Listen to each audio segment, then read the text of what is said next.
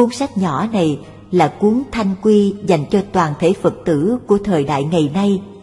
Nếu còn thắc mắc nào, mong quý vị gặp chúng tôi để giải bày. Mong cuốn sách nhỏ này sẽ góp chút ít hoa hương với tất cả mọi người để xiển dương vẻ đẹp của người Phật tử. Sản phẩm này nếu có thành tựu, ấy là nhờ công ơn giáo dưỡng của chư tôn đức, và nếu có khiếm khuyết, ấy là do khả năng hạn hẹp của chúng tôi. Ngưỡng mong tất cả mọi người góp ý cho chúng tôi để vườn hoa Phật Pháp ngày càng khoe sắc, nở rộ. Đi chùa như thế nào cho đúng?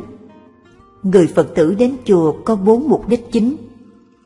Việc thứ nhất, người Phật tử chúng ta đến chùa là để học hỏi lời Phật, lời Tổ, thông qua quý thầy giảng dạy, nghe Pháp, thỉnh kinh sách, băng đĩa.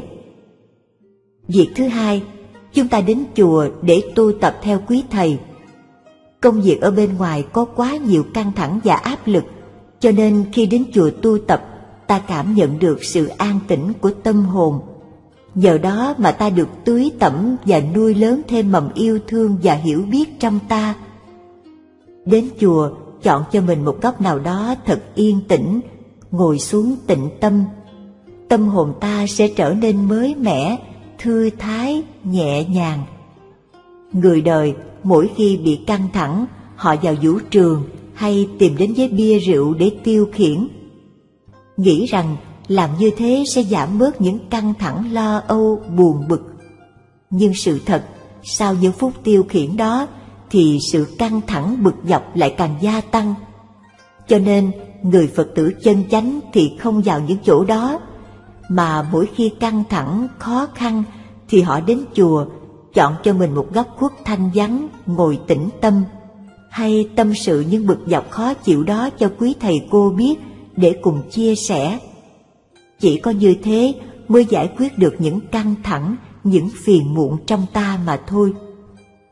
Việc thứ ba, những ngày qua ta đã vô tình hay cố ý phạm phải những lỗi lầm, và hôm nay đến chùa quỳ trước Tam Bảo thành tâm ăn năn sám hối, nói lên những lỗi lầm mà mình đã gây tạo, nguyện từ đây chừa bỏ. Việc thứ tư, chúng ta đến chùa để ủng hộ vật chất hay sức lực của mình cho chư tăng có điều kiện tu học để góp phần hoàng dương và hộ trì tam bảo. Ngôi chùa là ngôi nhà chung của tất cả mọi người, chứ không phải để dành riêng cho một cá nhân nào. Do vậy mà mỗi người đệ tử Phật đều phải có bổn phận và trách nhiệm. Những ngày lễ, người Phật tử có trách nhiệm phải tới chùa để lo phụ giúp làm công việc cùng với quý thầy cô. Người học đạo, bước đầu tiên là quan trọng nhất. Nếu bước đầu tiên mà sai, thì những bước kế tiếp càng bước càng sai. Cho nên người xưa nói, sai một ly đi một dặm. Vậy nên người Phật tử phải có sự nhận biết chính chắn khi tiếp xúc với những người hướng dẫn mình. Khi gặp những khó khăn trở ngại gì trong cuộc sống mà không tự giải quyết được, thì đến chùa gặp quý thầy cô để quý thầy cô chia sẻ và cùng tháo gỡ. Nếu thầy cô này mình chưa thật sự tin tưởng, thì đến gặp quý thầy cô khác mình tin tưởng hơn để giải bày. Đừng nghĩ rằng chắc thầy cô nào cũng giống nhau, rồi sanh tâm chán nản, lo âu thối thất tâm bồ đề. Khi đã phát tâm cúng dường cho quý thầy cô rồi, thì không nên đối đãi qua lại ân nghĩa như người ngoài thế gian, để rồi kết nghĩa cha mẹ hay anh chị em nuôi. Người xuất gia xem bốn biển là nhà, tất cả chúng sanh là thân bằng quyến thuộc, xa rời tình yêu nhỏ hẹp của gia đình để vươn tới tình yêu thương rộng lớn vô biên của chư Phật. Lẽ nào người xuất gia từ bỏ cha mẹ ruột để nhận lại cha mẹ nuôi? Cho nên người Phật tử không nên nhận cha mẹ hay anh chị em nuôi như thế. Đó là những mục đích chính để chúng ta đến chùa. Mái chùa là tổ ấm của tất cả mọi người, là nơi nuôi dưỡng tâm linh, làm nền tảng đạo đức cho chúng ta. Cho nên, khi đến chùa ta phải ăn mặc cho gọn gàng, sạch sẽ, kín đáo. Ta không đến chùa để tụm năm tụm bảy nói chuyện hơn thua ở đời. Phải biết mục đích tới chùa của mình là gì. Chùa là nơi đào tạo và nuôi dưỡng những người nguyện sống thánh thiện và đạo đức. Cho nên, giây phút mà mình có mặt ở chùa cũng nguyện sống thánh thiện và đạo đức, tránh đến chùa với những ý nghĩ và hành vi không tốt. Phải biết, được đến chùa là một niềm hạnh phúc lớn, được tắm mình trong biển yêu thương, được sống trong bầu không khí an lạc thanh bình. Đó là món quà quý nhất mà Tam Bảo dành cho ta trước khi ta trở về với cuộc sống đầy bận rộn lo toan hàng ngày. Khi đến chùa, người Phật tử cần những yếu tố gì? Khi đến chùa thì phải giữ chánh niệm, bớt liếc ngó hai bên. Khi đã có nhang đang cháy trong lư thì không cần phải thắp thêm nữa mà chỉ lạy Phật hay cầu nguyện là được rồi, trừ khi nhang cháy đã sắp tàn thì thắp thêm. Phật tử không lấy tay vuốt lên tượng Phật hay Bồ Tát rồi xoa lên đầu hay xoa lên mình, vì tay mình vốn sẵn đã không sạch mà xoa lên Phật thì đó là không tôn kính. Lại mồ hôi trên tay của chúng ta làm cho tượng dơ thêm. Nhiều lần xoa như thế thì phải sơn phết lại, vì nước sơn trên tượng bị hoen ố hay nước sơn bị tróc ra. Do đó mà phước đâu không thấy mà tội thì hiện ra trước mắt rồi. Lại nữa, đây là một việc làm mê tín, không phù hợp với người Phật tử chân chánh, là phải có chánh tín và chánh kiến. Khi đi không nên lê dép kêu sột soạt, vì như thế bước đi của chúng ta cảm thấy uể oải, mệt mỏi, mất đi sinh khí của một người Phật tử là phải ung dung thảnh thơi mà mạnh mẽ. Không nên vừa đi vừa mặc áo tràng hay vừa đi vừa cởi áo tràng khi vào chánh điện, không mặc áo tay ngắn hở hang, quần cục hay đầm váy vào chánh điện. Không được mang hay sách dép vào trong chánh điện. Khi vào tới cổng chùa thì những chuyện hơn thua ở ngoài đời chúng ta hãy gác lại, mà chỉ nói những lời nói ái ngữ, chia sẻ cảm thông trong phạm vi tu học mà thôi. Nếu không như thế thì chúng ta chọn một nơi nào đó thật yên tĩnh để niệm Phật hay ngồi thiền tĩnh tâm cho tâm hồn ta thư thái nhẹ nhàng. Khi trong chùa có việc gì cần thì ta làm với tất cả sự thành tâm, làm để tu tập chứ không phải làm để cho xong. Nghĩa là phải nhẹ nhàng khoan thai, an trú trong chánh niệm khi làm việc. Không đi những bước đi thoăn thoắt, không nói những lời nói tia lia lớn tiếng. Khi có dịp ăn cơm trong chùa cũng thế, ăn từ tốn khoan thai, không ồn ào nói chuyện trong lúc ăn. Khu vực của chư tăng sinh hoạt chúng ta không nên vào, trừ khi quý thầy có việc nhờ. Mà khi quý thầy có việc nhờ, thì đi vào khu vực của chư tăng phải hai người trở lên. Khi ngồi thiền, tụng kinh, nghe pháp, thì người lớn phải cẩn thận với các trẻ nhỏ. Nếu em nhỏ nào hay khóc nhè hay lăng xăng đùa giỡn thì không nên đưa theo, vì như thế sẽ làm ảnh hưởng đến sự tập trung chánh niệm tu học của những người xung quanh. Chúng ta chỉ chọn thời gian thích hợp để đưa trẻ nhỏ đi chùa. Khi mặc áo tràng rồi thì không nên chạy hay đi một cách vội vã. Khoác lên mình chiếc áo tràng lam là tượng trưng cho sự tinh khiết, sự thảnh thơi và trong sáng. Cho nên khi mặc vào rồi mà còn hấp tấp vội vã như thế thì sẽ mất đi nét oai nghi dịu dàng nơi ta. Khi đến chùa, ai có áo tràng thì nhớ cầm theo. Chiếc áo tràng rất quan trọng, quan trọng tương đương chiếc y của quý thầy vậy. Chúng ta chỉ mặc áo tràng khi lạy Phật, nghe Pháp, tụng kinh ngồi thiền, hay khi lễ lạy đón tiếp các bậc cao đức Xong những việc đó thì chúng ta cởi áo tràng ra và không mặc áo tràng để nói chuyện hay làm việc. Nhất là không mặc áo tràng vào nhà vệ sinh.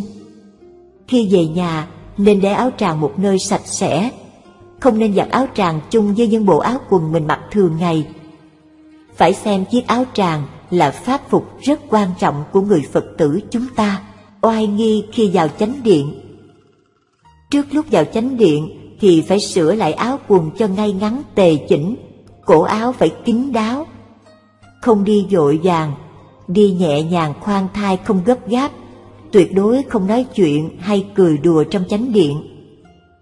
không đứng trong chánh điện mặc áo tràng. Khi ngồi hay đứng trong chánh điện, không dựa vào vách tường. Khi vào chánh điện, phải để dép cho ngay hàng thẳng lối, không để dép mình chồng lên dép của người khác hay để dép một cách lung tung, bừa bãi. Khi đứng hay ngồi để làm lễ bất cứ chỗ nào, thì phải đứng ngồi cho ngay ngắn thẳng hàng. Nếu ai mới tới mà chưa có chỗ đứng, thì ta phải nhường cho họ chỗ của ta. Đừng có ý nghĩ rằng chỗ này là chỗ của tôi. Nếu còn có ý nghĩ đó, là người chưa biết tu tập. Nhất là khi làm lễ ngoài trời, thì không xô đẩy chen lấn để giành chỗ. Khi làm được việc tốt nào thì xem đó là một thành công lớn của cuộc đời mình. Hãy tô điểm cho tâm hồn chúng ta thật nhiều trái ngọt yêu thương để dâng những trái ngọt yêu thương đó lên cúng dường Tam Bảo. Hãy cúng dường lên Tam Bảo bằng những việc làm cụ thể chân chánh, bằng những lời nói yêu thương, bằng những ý nghĩa tốt cho mọi người. Kinh Hoa Nghiêm Đức Phật dạy, phục vụ cho mọi người là cúng dường lên chư Phật.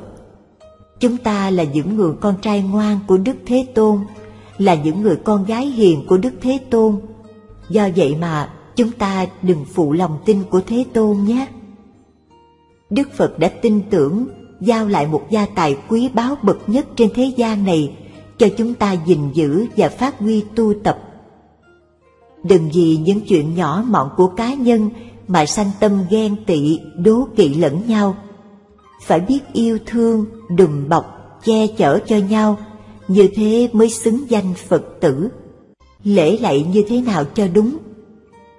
Đa phần người Phật tử lạy Phật nhưng chưa hiểu hay đã hiểu sai về Đức Phật. Điều này rất quan trọng. Hiểu sai vì chúng ta xem Đức Phật như một vị thần linh, còn chưa hiểu là chúng ta chưa hiểu được nguồn gốc của Đức Phật, chưa hiểu được Đức Phật là ai, thế nào là Phật. Cho nên, người Phật tử phải học hỏi giáo lý để biết về Đức Phật của chúng ta nhiều hơn.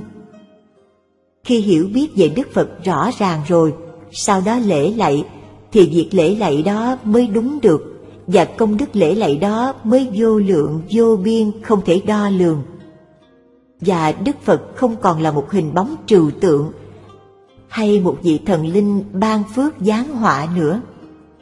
Nếu chưa biết, chưa hiểu gì về đức phật mà lễ lạy rồi nói rằng tôi kính đức phật, thì e lời nói đó và sự lễ lạy đó chưa đúng sự thật. Cho nên, học hỏi giáo lý là điều rất quan trọng. Mỗi lần lạy phật đều nói như sau chúng con cung kính và nguyện thực hành theo lời phật dạy. Khi ta lạy ai thì ta phải học tập và làm theo người mà ta đang cung kính lễ lạy đó. Ví dụ, kính lạy đức phật bổn sư thích ca mâu ni. Con nguyện học theo hạnh xả bỏ của người. Con nguyện học theo ý chí kiên cường của người. Con nguyện học theo hạnh tinh tấn của người. Con nguyện thương yêu mọi loài chúng sanh như người đã thương yêu. Con nguyện học tập và làm theo tất cả những gì mà người đã làm được. Kính lạy Đức Phật Di Lặc, con nguyện học theo lòng từ bao dung rộng lớn như người. Con nguyện tấm lòng của con sẽ lớn dần ra để bao dung với tất cả chúng sanh, dù trong đó có những chúng sanh đã từng oán ghét căm thù con. Con nguyện học theo hạnh luôn luôn vui tươi, luôn luôn tha thứ và hỷ xả của người, và miệng con luôn nở nụ cười như người.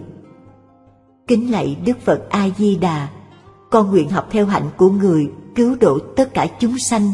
Con nguyện đem yêu thương và sự hiểu biết của con để thiết lập tịnh độ ngay trên trái đất này.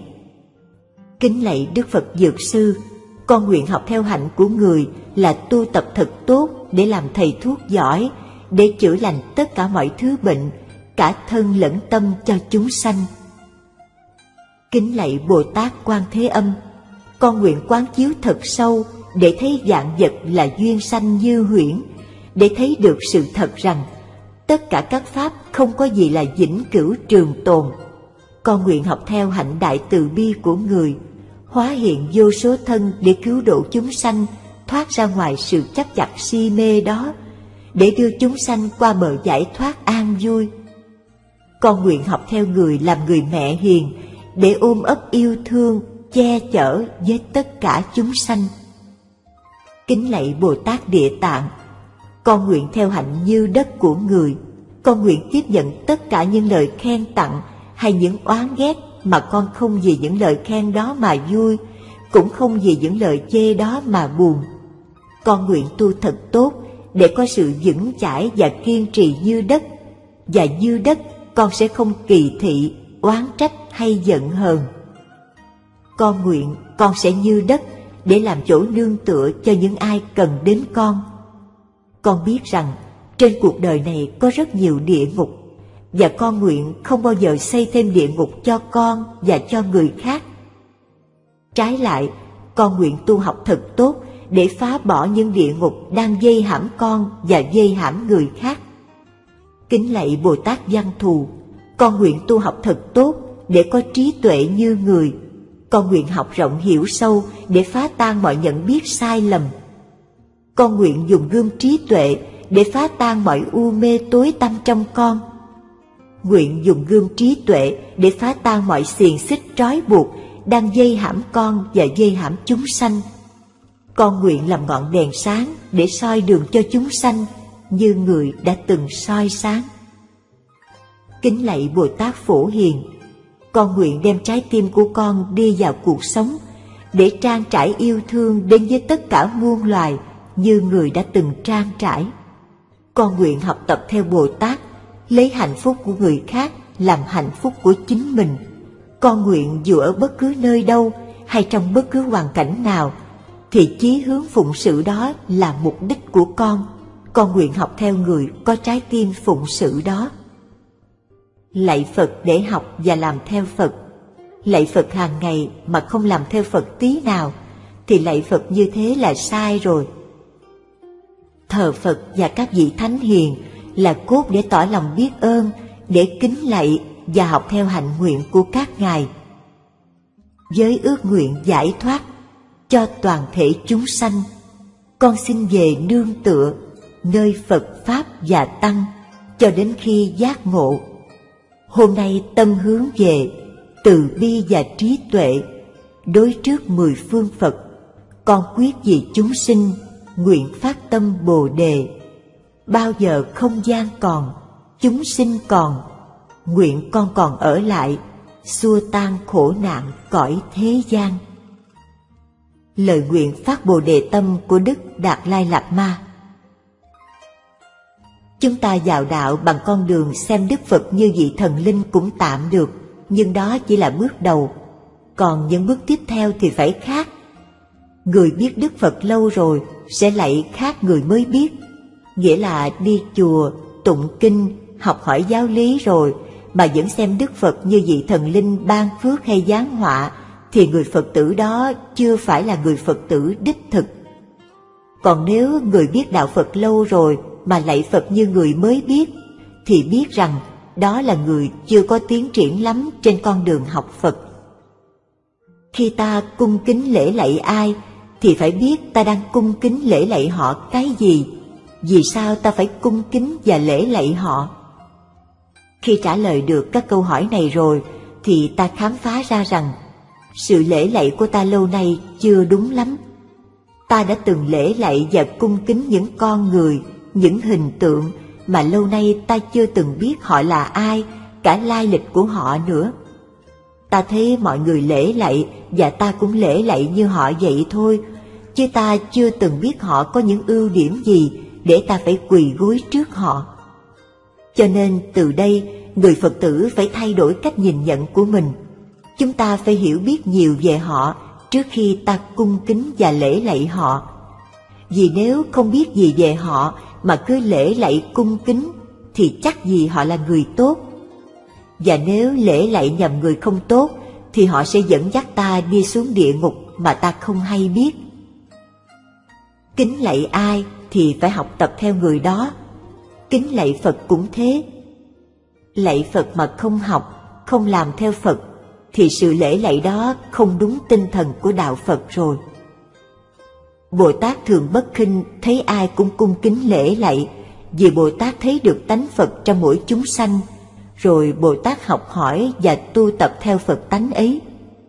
còn chúng ta chưa thấy được tánh Phật trong mỗi người nên chỉ lễ lạy cái tướng bên ngoài mà thôi. Nghĩa là Bồ Tát lạy chúng sanh là lạy tánh Phật trong mỗi chúng sanh. Còn chúng ta cung kính và lễ lạy thì phải chọn người là vì chúng ta lạy tướng bên ngoài. Mà tướng thì có tướng tốt, tướng xấu, tướng hay, tướng dở. Còn Phật tánh thì không có dở, không có xấu. Sau đây là cách thức lễ lạy. Khi nghe tiếng chuông, chúng ta đưa hai tay lên trán. Thân tâm nhất như, mắt hướng về phía người mình kính lễ. Thân thẳng, hai chân khép lại, gót chân chạm vào nhau thành hình chữ V, rồi từ từ lạy xuống. Hai bàn chân duỗi thẳng ra sau, nằm bẹp xuống. Từ các ngón chân cho tới đầu gối là một đường thẳng chạm đất. Các ngón chân không chống đất mà duỗi thẳng ra. Mông chạm hai gót chân. Mông không chổng lên cao vì người lạy bên sau thấy vậy không đẹp. Đầu chạm đất mà không kê đầu lên trên hai bàn tay hay trên giặt áo vì kính lạy mà còn sợ dơ đầu nên lại như thế là chưa cung kính trọn vẹn. Hai bàn tay ngửa ra hay úp lại cũng đều được, nhưng phải để song song với đầu mình. Xong, nghe tiếng nhấp chuông thì từ từ chống các ngón chân lên, kéo tay về, rồi lấy hai bàn tay chống người đứng dậy cho thăng bằng.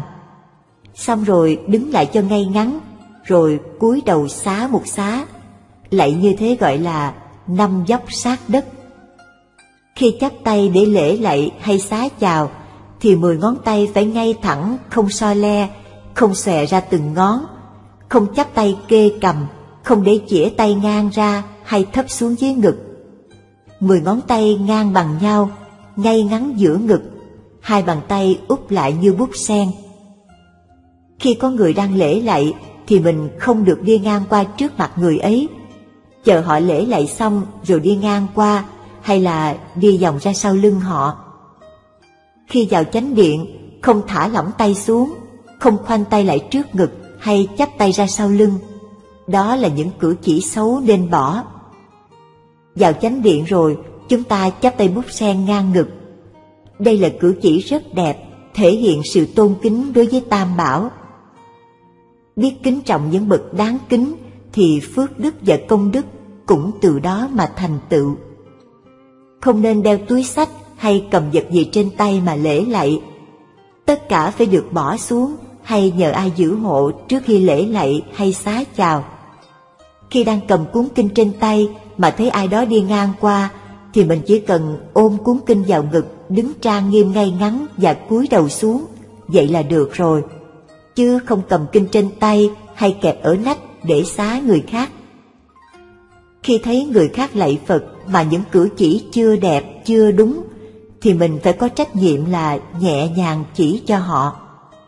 Tất cả mọi người ta đều tôn trọng, nhưng để kính trọng thì không phải ai ta cũng kính trọng.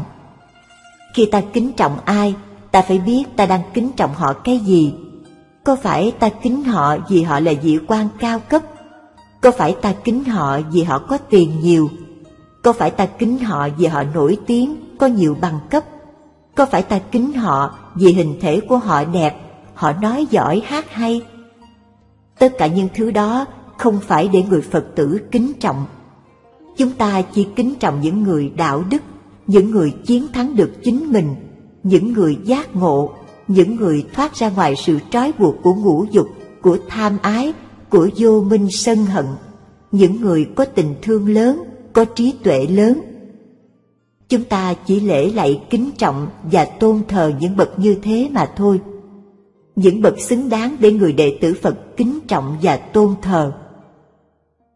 Hòa thượng Trúc Lâm có nói cho Phật tử tại gia trong cuốn Vài nét chính luân lý Phật giáo, trang 59, 60, 61 như sau. Cung kính những hạng người nào tức là đã gieo chủng tử ấy vào tàn thức chúng ta rồi. Cung kính Phật, tức là chúng ta đã gieo chủng tử Phật, tương lai chúng ta sẽ thành Phật. Cung kính tà ma quỷ quái, tức là chúng ta đã gieo chủng tử tà ma quỷ quái, tương lai là tà ma quỷ quái. Vì thế chúng ta phải phân biệt chỗ nào đáng cung kính, chỗ nào không đáng cung kính. Chỗ không đáng cung kính mà cung kính, tức là chúng ta đã gieo những chủng tử không tốt cho chúng ta sau này. Cho nên, người Phật tử khi quy y Tam Bảo đã phát nguyện quy y Phật, không quy y thiên thần quỷ vật, quy y tổn hữu ác đảng. Chữ quy y nghĩa là cung kính, nương về. Chúng ta đã cung kính Tam Bảo, lấy Tam Bảo làm mục tiêu, nhất định không theo nơi nào khác. Ngày nay Thánh Tăng rất ít, đa phần là phàm Tăng. Cho nên người Phật tử phải thêm một lần phân biệt nữa. Trong phàm Tăng này có người lợi dụng chiếc áo làm sinh kế, cho nên người Phật tử phải biết cung kính, cúng dường người nào đáng cung kính cúng dường. Bởi vì khởi tâm cung kính thì chúng ta phải thân cận học hỏi. Nếu vị ấy không chân chánh, ắt sau này sanh tâm chán lờn, khinh bán, mất hết chủng tử tốt đẹp trước. Đệ tử Phật thì không lạy bừa, không tin bừa, không bàn đâu thì lạy đó, bàn đâu thì tin đó. Lòng tin chỉ đến khi trí tuệ đã đi qua, nghĩa là bất cứ công việc gì cũng phải hiểu biết đầy đủ, phải tư duy quán chiếu, lúc đó rồi mới tin, mới thực hành. Trong đạo Phật có tam học, văn, tư và tu. Văn tức là nghe, là thấy. Khi nghe thấy rồi thì chuyển qua giai đoạn thứ hai là tư. Tư nghĩa là tư duy, là suy gẫm, là quán chiếu thẩm xét, là lấy trí tuệ của mình ra để xét nghiệm lại những điều mà mình đã nghe, đã thấy, dù đó là lời nói hay việc làm của người nổi tiếng. Khi tư duy quán chiếu, thẩm xét và xét nghiệm kỹ càng rồi, lúc đó mới chuyển qua giai đoạn thứ ba, tức là tu. Tu tức là tin, là thực hành theo. Lâu nay chúng ta thường bỏ giai đoạn giữa là tư. Chúng ta nghe, thấy rồi tin liền mà không có tư duy quán chiếu. Đức Phật thì không cho phép chúng ta như thế. Đức Phật dạy, tin ta mà không hiểu ta là phỉ bán ta. Cho nên, người đệ tử Phật chúng ta phải tư duy, phải quán chiếu trước lúc chúng ta tin, trước lúc chúng ta kính trọng và lễ lạy chúng ta không mù quáng tin một cách vô điều kiện. Sở dĩ Tam Bảo chưa gia hộ cho ta, vì lòng tin ta đặt vào Tam Bảo chưa trọn vẹn và chưa đúng đắn. Tới chùa thì lạy Phật xin Phật, nhưng tới miễu cũng lạy bà xin bà.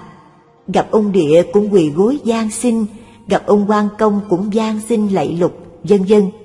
Vậy mà cứ bảo là tôi tin Phật, Tin Phật mà Phật dạy mình không nghe, Phật bảo mình không làm, vậy gọi là tin Phật sao? Mình không tư duy quán chiếu mà cứ tin bừa như vậy, thì ai mà cứu được mình? Khi quy y Tam Bảo, chúng ta đã phát nguyện không quy y thiên thần hay quỷ vật. Vì thiên thần quỷ vật không phải là những người hướng dẫn cho ta đi tới chỗ giác ngộ giải thoát. Quy y nghĩa là quay về nương tựa, lấy đối tượng mình quy y làm người dẫn đường cho mình. Vậy mà khi ta quy y tam bảo xong rồi, ta lại quên lời phát nguyện đó, để rồi quay về kính quý lạy lục thiên thần quỷ vật làm chỗ nương tựa cho mình. Như vậy là không đúng. Gặp ông địa ta cũng quỳ gối xin xỏ, gặp miễu bà, miễu ông ta cũng quỳ gối gian xin, rồi cho tới quan công. Nghe ai nói chỗ nào linh hiển thì tới đó gian xin cầu cạnh. Bà ai cũng xin, bà ai cũng lạy như vậy. Thử hỏi chúng ta đã tin Phật tuyệt đối chưa? Mà không tin Phật thì làm sao tu tập theo Phật được? Làm sao Phật gia hộ cho ta được? Đức Phật là bậc đại y dương, là vua của tất cả các thầy thuốc, chữa lành tất cả mọi thứ bệnh cho chúng sanh. Những người đệ tử lớn của Đức Thế Tôn, nào là đại trí, đại bi, đại hùng, đại lực, đại hỷ, đại xã. Chỉ cần các đệ tử của Phật thôi cũng đã quá đủ để ta phải lạy rồi. Lễ lạy là để thể hiện lòng cung kính chân thành và ý thức khiêm hạ, bỏ bớt đi cái bản ngã của mình. Cho nên khi lễ lạy, ta phải đầu tư chánh niệm một trăm phần trăm vào việc lễ lạy của mình. Như thế gọi là cung kính lễ, Tóm lại, cung kính bậc đức hạnh là mục tiêu nhắm đến khiến chúng ta chỉ tiến lên trên con đường giải thoát mà không sai lạc. Như người đi biển đã trông thấy ngọn hải đăng, cung kính là một trợ duyên đắc lực nhất trên con đường đức hạnh, như nước giúp cho cây cỏ được xanh tươi, song phải cung kính những vị thật đức hạnh.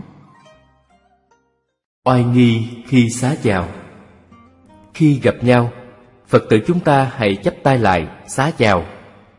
Đây là biểu hiện cử chỉ rất đẹp của người con Phật. Nói lên sự tôn trọng và mến yêu Sự khiêm hạ của ta đối với người khác. Không chỉ gặp quý thầy cô xuất gia Chúng ta mới xá chào Mà khi gặp nhau Dù đó là Phật tử hay không phải Phật tử Chúng ta cũng chắp tay xá chào như thế. Khi được người khác chắp tay xá chào trước, Thì mình cũng phải chắp tay búp sen, tặng họ một đóa trở lại, để tỏ rõ sự biết ơn và sự tôn trọng. Chớ nên nghĩ rằng người đó nhỏ hơn mình, nên mình không cần phải chắp tay đáp lễ lại. Nghĩ vậy là không tốt. Họ biết tôn trọng mình thì mình cũng phải tôn trọng lại. Đó là đạo lý làm người. Khi xá chào, thì mọi việc làm, mọi ý nghĩ phải dừng lại không vội vã gấp gáp thân tâm chánh niệm, đoan trang ngay ngắn. Chắp tay ngang ngực, đầu và cổ hơi cúi xuống, mắt khẽ nhắm lại. Đứng như vậy khoảng 4 đến 5 giây rồi thôi. Mà không cần phải cúi khom cả lưng xuống. Rồi niệm kèm theo câu Nam Mô Phật, nghĩa là cung kính Phật, quay về với Phật. Khi chắp tay xá chào, thì mình không được xá chào một tay còn tay kia bận công việc gì đó. Dù bận công việc gì, thì khi xá chào cũng phải chấp hai tay lại. Tất cả công việc phải buông xuống. Khi chấp tay đáp lễ lại người khác cũng thế. Đó là biểu hiện sự thành tâm tuyệt đối của mình với người khác, mà không phải chỉ là hình thức. Lại càng không được cầm kinh sách trên tay hay kẹp nách mà xá chào. Chỉ cần ôm cuốn kinh đó vào ngực, Rồi cúi đầu xuống là được. Không nên vừa đi vừa xá chào Dù rất bận biệu Thì cũng phải đứng lại ngay ngắn, chắp tay xá chào xong, rồi hãy đi. Không nên vừa nói chuyện, Vừa chào hỏi, vừa xá. Khi xá chào Thân tâm phải im lặng nhất. Khi xá không đứng quá ba mét không ngồi xá, Khi đang làm việc, tay dơ bẩn, không cần xá. Khi đứng trên cao, thì không xá chào hay nói chuyện với quý thầy cô ở dưới thấp khi xá, không lắc lắc cổ tay bên này, bên kia. Khi đứng tiếp chuyện với quý thầy cô, thì chắp tay bắp sen trước ngực, không thả lỏng tay xuống, hay chắp tay sau lưng, hay khoanh tay trước ngực. Khi vào nhà ai mà thấy có thờ phật thì phải chắp tay xá chào Phật trước, rồi sau đó mới xá chào và nói chuyện với người nhà sau. Khi tới chùa hay bất cứ chỗ nào, nếu có quý thầy cô đông, thì không cần phải xá chào từng người một, mà chỉ cần chọn một chỗ thích hợp để đứng hoặc ngồi. Đã xá chào rồi, mà lát nữa gặp lại, thì không cần phải xá chào lại lần nữa, mà cứ tiếp tục làm công việc của mình đang làm.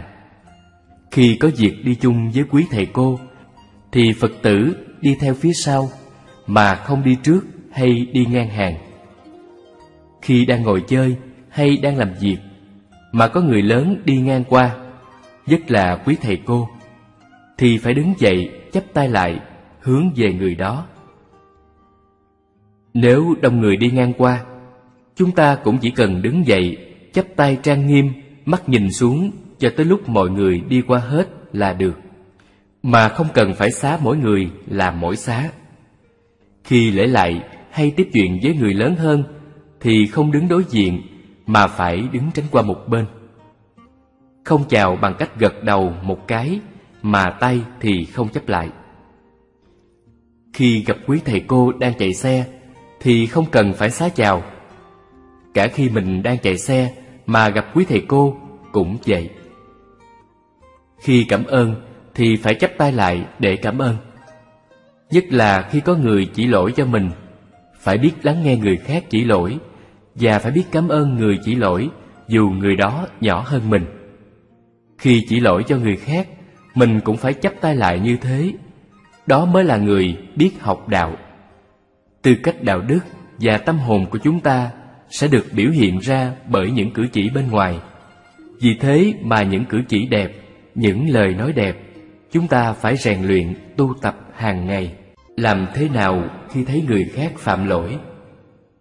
Chúng ta là những người đệ tử ngoan của đức phật, cho nên lời nói của chúng ta phải là lời ái ngữ, dựa trên tình thương và sự hiểu biết.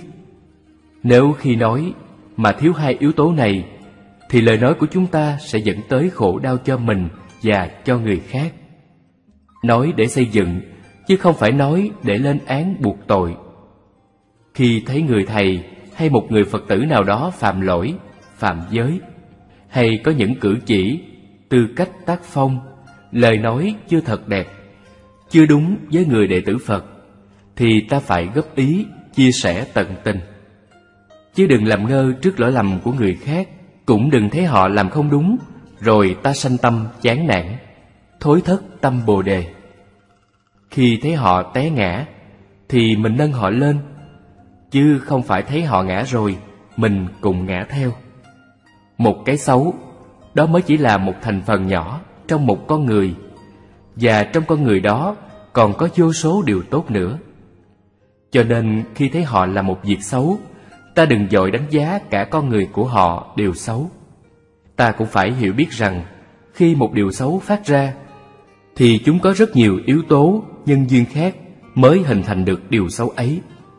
Và trong các yếu tố nhân duyên để phát sinh ra cái xấu đó, có cả bản thân của ta trong đó nữa. Phải thấy được lỗi lầm của mình trong lỗi lầm của người khác. Cho nên trước khi nói lỗi của người khác ta tự đặt cho mình một câu hỏi rằng, lời nói của ta đây là để xây dựng cho người đó hay có nhằm mục đích gì khác không? Người đệ tử phật chúng ta, khi nói lỗi của người khác thì người nói phải có năm đức tính sao? Nói sự thật, nói lời nhu nhuyến, nói từ bi, nói lợi ích, nói đúng thời. Nói sự thật nghĩa là khi góp ý, nói lỗi cho người khác thì ta phải nói đúng như sự thật, những gì mà ta đã thấy, đã nghe. Mà không nói quá lên, hay nói một cách sai lạc, không đúng với những gì ta đã thấy, đã nghe. Nói lời nhu nhuyến là khi góp ý cho người khác, thì ta phải nói lời ái ngữ, nhẹ nhàng, nhu nhuyến. Mà không nói lời chát chúa, sân hận, buộc tội, lên án, hay nói với một tư cách, mình là người đúng đắn còn anh chị là người không đúng đắn.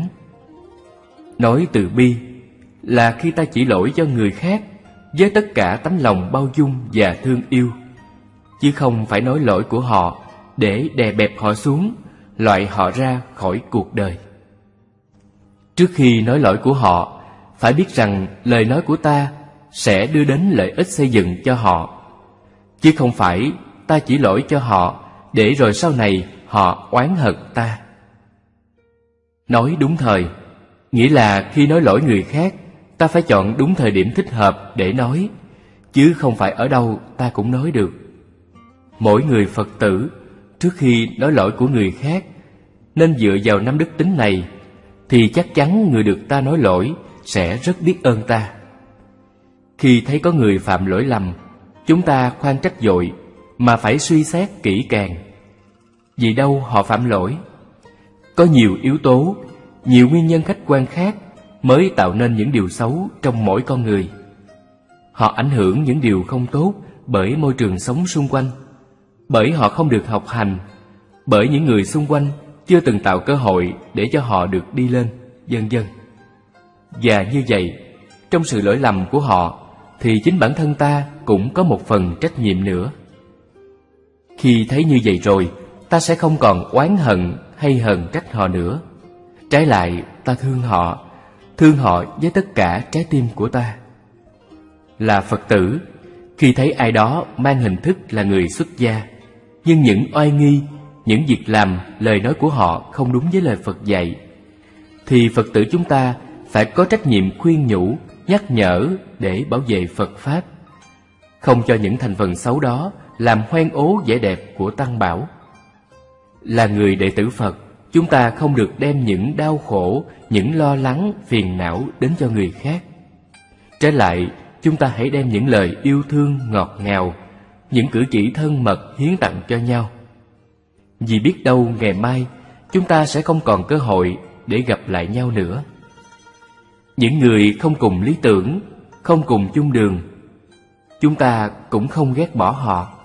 Huống gì đây là những người cùng lý tưởng, cùng đi trên con đường học Phật, cùng tôn xưng Đức Phật làm bổn sư, mà ta lại ghét bỏ nhau sao?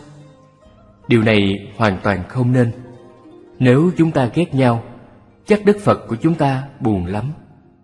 Thứ để chúng ta căm thù đố kỵ, thứ đó không phải là con người, mà thứ để ta phải căm thù đố kỵ, để ta phải ghét bỏ, loại chúng ra khỏi cuộc đời ta. Đó chính là những tham lam, sân hận, ích kỷ, đố kỵ, si mê, ganh ghét, giận hờn. Những cái xấu ác trong con người của mỗi chúng ta. Đừng dội đánh giá một ai khi chúng ta chưa từng đi trên con đường mà họ đã đi. Mỗi người có một chủng tánh, căn duyên nghiệp lực khác nhau. Cũng giống như mỗi người là mỗi thứ bệnh vậy. Cho nên giáo pháp của Đức Phật cũng rất nhiều pháp môn, rất nhiều loại thuốc để trị nhiều thứ bệnh cho chúng sanh vậy. Nếu ai cũng tu một pháp môn như mình, thì Đức Phật dạy nhiều pháp môn để làm gì? Nếu Đạo Phật chỉ một pháp môn thôi, thì Đạo Phật sẽ không truyền bá rộng rãi ra khắp năm châu cho chúng sanh lợi lạc như ngày hôm nay được. Nhờ Đạo Phật có tám dạng bốn ngàn pháp môn, nên giáo pháp của Đức Thế Tôn mới lan truyền ra rộng rãi như ngày hôm nay. Mỗi người có mỗi thứ bệnh, và mỗi người phải uống mỗi phương thuốc phù hợp mới lành bệnh được. Vậy nên, mình đừng cho rằng loại thuốc mà mình đang sử dụng là hay hơn tất cả mọi loại thuốc khác. Rồi bài xích chống bán những người không cùng uống thuốc như mình. Loại thuốc a chỉ phù hợp với người có thứ bệnh a. Loại thuốc b chỉ phù hợp với người có thứ bệnh b. Nếu người bị đau đầu mà uống thuốc đau bụng, thì bệnh không thể lành mà bệnh càng thêm nặng. Cho nên mình đừng cho rằng loại thuốc của mình là độc tôn, là loại một. Còn những loại thuốc khác thì không được xếp hạng. Thuốc nào cũng hay cả. Chẳng có thuốc nào hay hơn thuốc nào. Cái quan trọng là phải uống đúng thuốc. Cũng thế, người có nhân duyên với pháp môn tịnh độ thì tu niệm phật người có nhân duyên với thiền tông thì tu thiền. Người có nhân duyên nào thì tu theo pháp môn đó. Và đích cuối cùng là điều giải thoát cả. Cũng giống như rất nhiều con sông sông lớn, sông nhỏ, sông ngắn hay sông dài, thì tất cả cuối cùng đều chảy ra biển. Cho nên không phải tu thiền là hay hơn tu tịnh độ, hay là tịnh độ hay hơn thiền mà hay hơn là nhờ người đó thích hợp với pháp môn đó. Nhưng pháp môn đó chưa chắc thích hợp với người khác. Cho nên pháp môn nào cũng hay cả, chỉ không hay với người không thích hợp mà thôi. Người phật tử phải giúp đỡ lẫn nhau như thế nào? Người phật tử phải biết giúp đỡ lẫn nhau mỗi khi ai đó gặp hoàn nạn khó khăn trong cuộc sống. Khi trong nhà phật tử nào có bệnh tật hay gặp khó khăn bất trắc gì thì mỗi người phật tử chúng ta phải tới thăm hỏi động viên chia sẻ hay là rủ nhau đi từng nhóm tới thăm cũng được trong nhà Phật tử nào có tang sự, chúng ta phải đến để thắp nén nhang thăm hỏi, trợ lực thêm cho người còn sống cũng như người đã mất. Nếu nhà nào họ không đón tiếp chu đáo, thì chúng ta cũng đừng nên trách móc. Mục đích của chúng ta tới là để chia sớt và quá giải nỗi khó khăn với họ.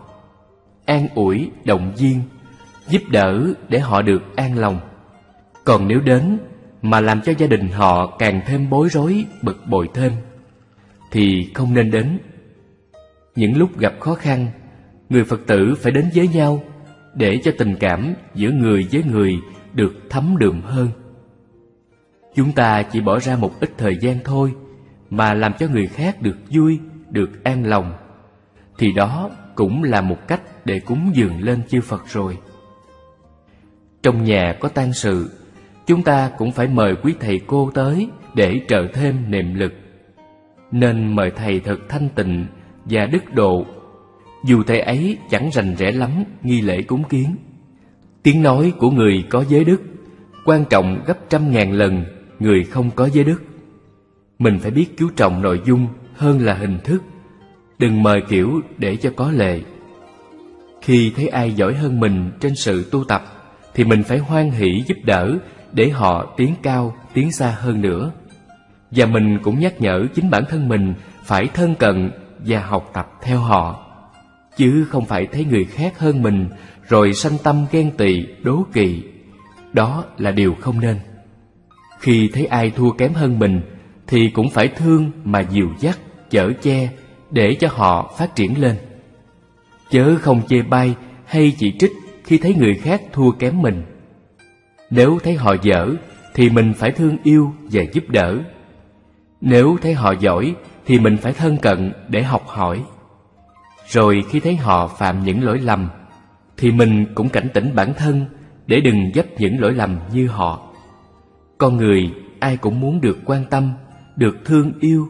Vậy tại sao mình không hiến tặng sự quan tâm và thương yêu cho người khác để mình được họ quan tâm và thương yêu trở lại? Ai cũng không thích người khác ghét bỏ, đố kỵ, hiềm khích mình. Vậy tại sao mình đem những thứ đó quẳng vào người khác? Là Phật tử, mình đã hiểu rõ khi hiến tặng ai một cái gì thì họ sẽ đem một cái tương tự như vậy để hiến tặng trở lại. Nếu chúng ta ghét bỏ, đố kỵ, hiềm khích ai, thì tức là chúng ta ghét luôn Bồ Tát Địa Tạng và Bồ Tát A Nan rồi, thậm chí ghét luôn cả chư Phật, chư Bồ Tát nữa. Vì các ngài nguyện rằng, nếu còn một chúng sanh đang đau khổ đọa đầy, thì các ngài không chịu ngồi đó mà tận hưởng hạnh phúc cho riêng mình. Vậy nỡ lòng nào chúng ta đem những khổ đau khó chịu đến cho người khác? Cho nên chúng ta tu tập thật tốt để có trái ngọt yêu thương đem tặng cho mọi người cùng góp sức kề vai cùng chư Phật và Bồ Tát để cứu độ chúng sanh. Một trong những nguyên nhân chính để chúng ta ăn chay là vì thương loài vật. Loài vật mà chúng ta còn thương chúng như thế, huống gì chúng ta đây là huynh đệ của nhau. Là Phật tử, chúng ta không nên nói rằng tôi là đệ tử của thầy này, thầy kia. Cũng không nói rằng tôi là Phật tử của chùa này, chùa nọ. Nói như vậy, chứng tỏ ta đã có tâm phân biệt, và cũng có nghĩa là ta đã vô tình làm chia rẽ, ly gián tăng đoàn rồi đó. Mà tội làm chia rẽ, ly gián tăng đoàn là một trong bốn tội nặng nhất. Chắc quý Phật tử cũng đã từng nghe qua rồi. Chúng ta không phải là đệ tử của riêng thầy nào hay của một ngôi chùa nào cả.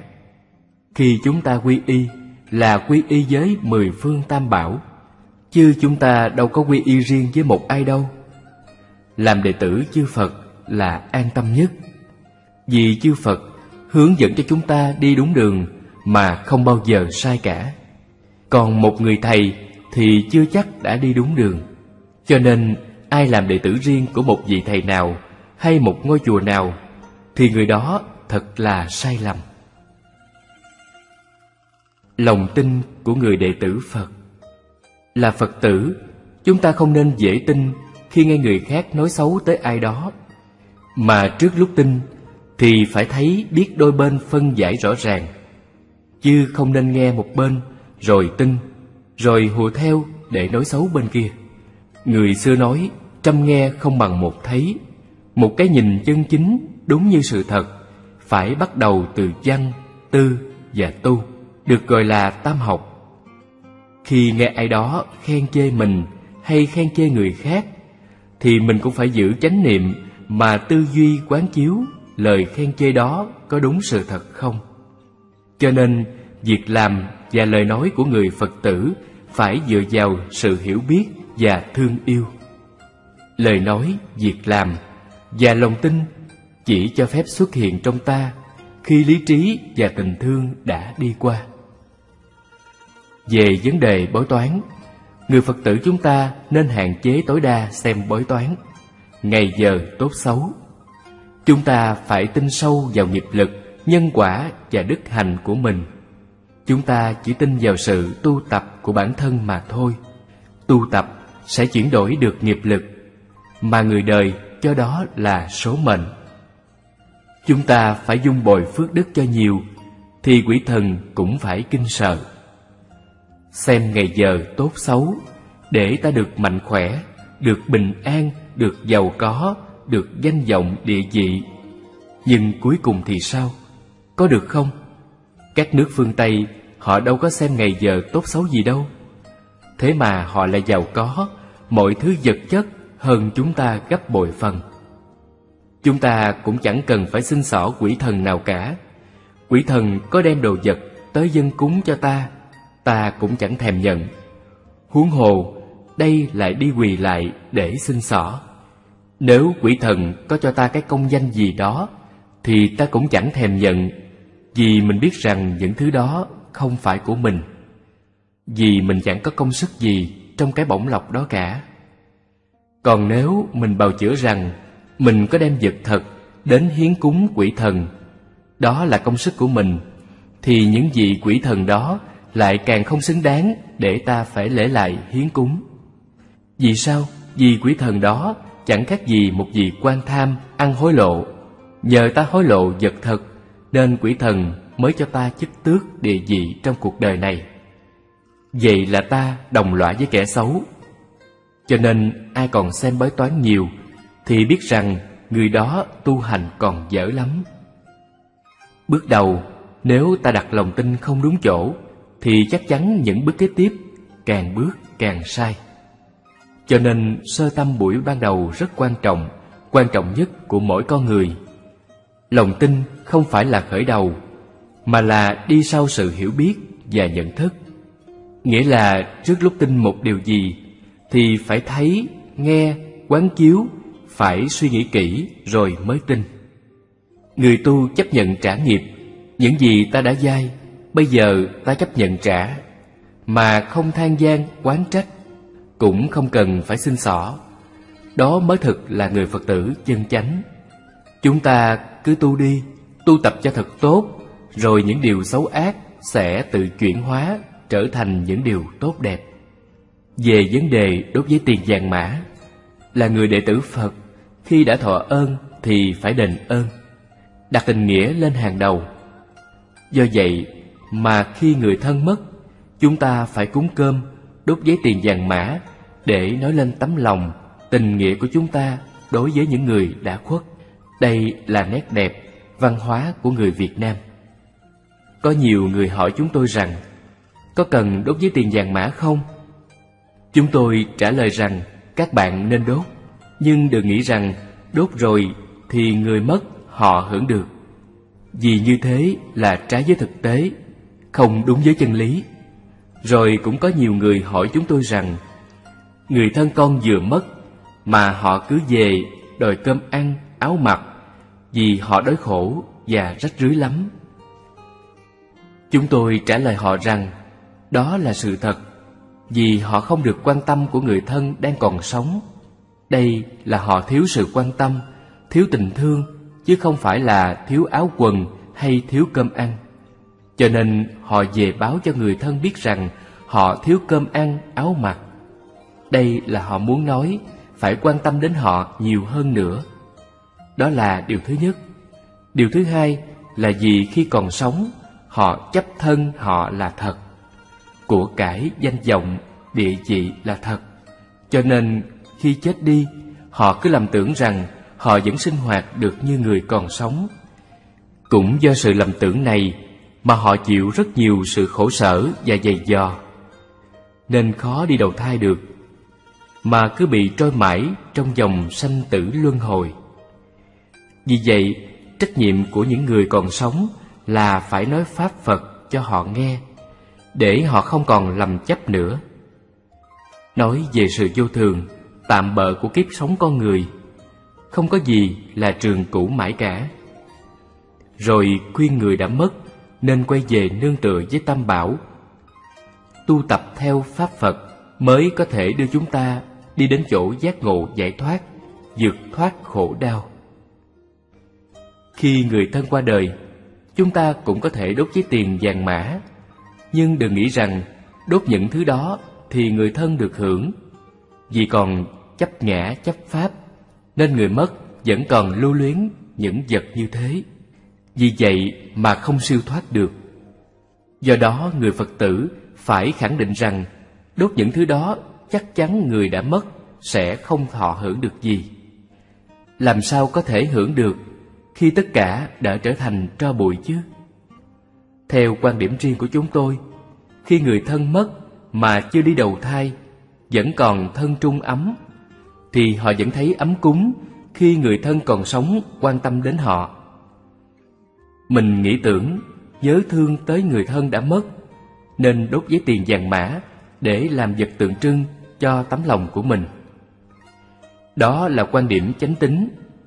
Còn nghĩ rằng đốt những thứ này xuống để họ lấy những thứ đó họ tiêu xài thì đó là mê tín, không đúng thực tế. Nếu còn nghĩ như vậy thì lấy số tiền mua giấy tiền vàng bạc giả đó mà đi bố thí cúng dường thì lợi ích thiết thực hơn. Người đệ tử Phật phải có cái nhìn chánh tính, phải quán chiếu suy tư, chứ không kiểu học đòi người trước làm sao thì giờ mình làm vậy, mà không biết đâu chân, đâu dạ Nguyện cầu Khi cầu nguyện cho ai đó được bình an, thì trong ta phải có chất liệu của bình an, chất liệu của từ bi, rồi ta hướng năng lượng đó đến cho người mà ta muốn cầu. Ta cầu nguyện bằng cách nào? Cầu nguyện cả thân, miệng, ý của chúng ta. Khi cầu nguyện, phải có định, tức là phải hợp nhất ba nghiệp lại, rồi lúc đó mới phát xuất ra niềm tin và thương yêu, mới thay đổi được tình trạng. Cầu nguyện bằng cả sự sống hàng ngày của chúng ta. Đừng đi tìm Đức Phật một cách trừu tượng. Đừng cầu nguyện Phật với ý niệm trừu tượng mà phải đến với Đức Phật một cách rất thực tế, cụ thể.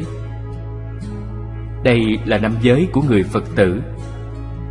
Con nguyện bảo vệ sự sống của mọi người và mọi loài, không giết hại sinh mạng, không tán thành sự giết, dù chỉ là trong tâm tưởng, và con nguyện tu tập tốt để tăng trưởng lòng từ bi trong con, để ngăn chặn sự giết hại hay những sự việc có thể dẫn đến hận thù khổ đau con xin nguyện con nguyện không trộm cướp hay lường gạt người khác.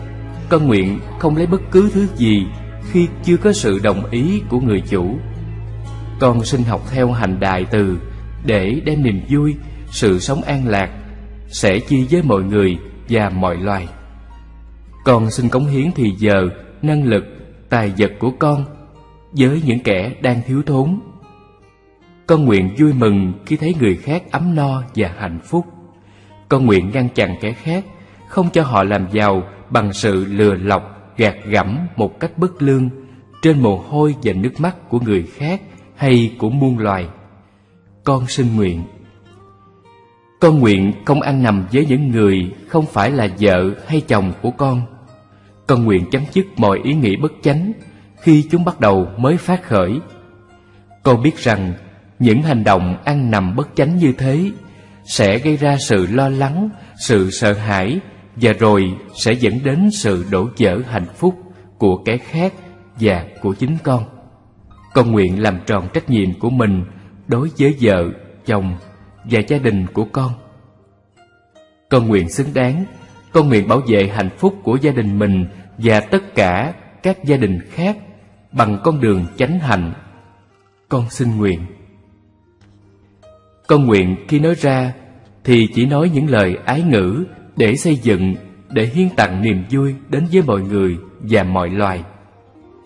Con chỉ nói những lời để đem đến sự hạnh phúc cho con và cho người khác, cả trong hiện tại lẫn tương lai.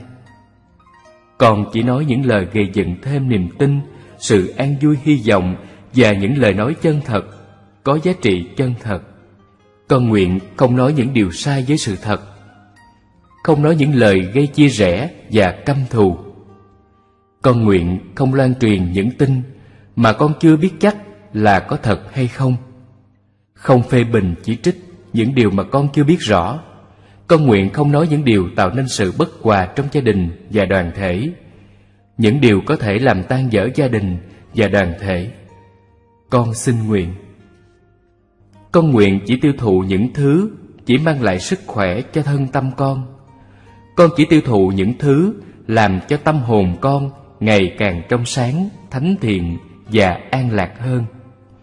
Con nguyện không tiêu thụ những thứ làm tàn hại thân tâm con, mà vì nó con phải nô lệ và phải phụ thuộc vào chúng, rồi bị chúng trói buộc. Con nguyện không uống rượu bia, không sử dụng các chất kích thích gây say, gây nghiện như ma túy, thuốc lá hay phim ảnh báo chí mang nội dung không lành mạnh. Con xin nguyện. Người giữ được năm giới này gọi là người văn hóa. Gia đình giữ được năm giới này gọi là gia đình văn hóa. Thôn xóm giữ được năm giới này gọi là thôn xóm văn hóa. Xã hội giữ được năm giới này gọi là xã hội văn hóa.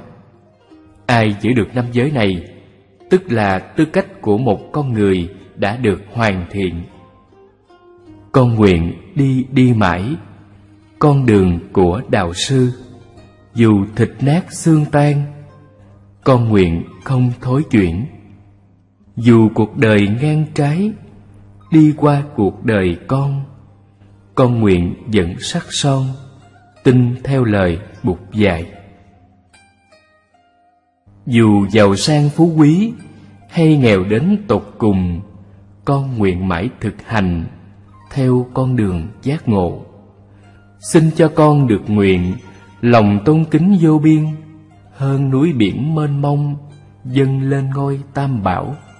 Con nguyện yêu thương mãi với tất cả muôn loài, cả những người hại con, con nguyện yêu thương mãi.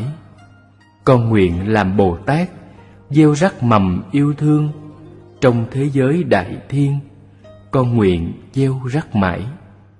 Những tham si tật đố, những ganh ghét giận hờn, làm não loạn tâm con, con nguyện xin đoạn diệt.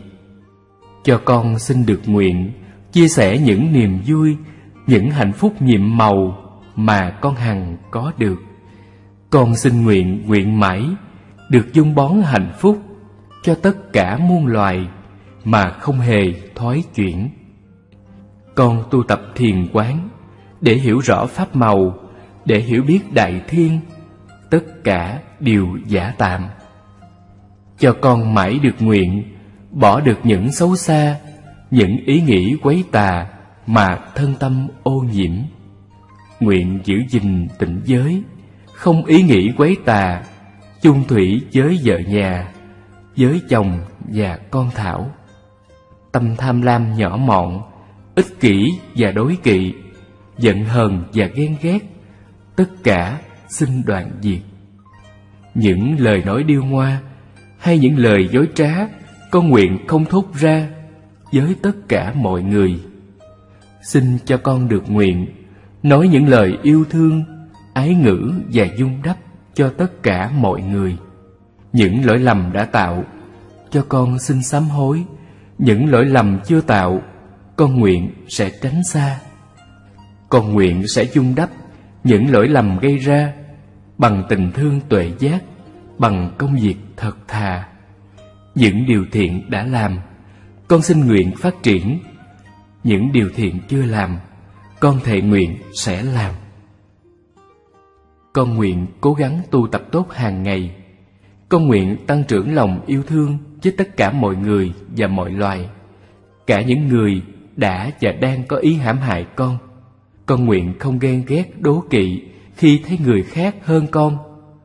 Trái lại, con nguyện kính trọng, xây đắp và học hỏi họ. Con nguyện sẽ chiến đấu tới cùng với bọn quân ma đang rình rập trong con. Chúng là những kẻ giận hờn, ghen ghét, đố kỵ, lo lắng, sợ hãi và ngu tối trong con. Con nguyện tu học tốt để lấy trí bát nhã chuyển hóa chúng. Con cũng nguyện lấy gươm bát nhã để chiến đấu tới cùng với những cám dỗ, những danh dự, địa vị, lợi lộc khen tặng, vân vân. Những bọn mà làm chướng ngại bước đường tu học của con. Con nguyện lấy sự tiến triển trên bước đường tu học làm điều hạnh phúc. Con nguyện mãi giữ vững lập trường, đi theo con đường mà Đức Thế Tôn đã chỉ dạy.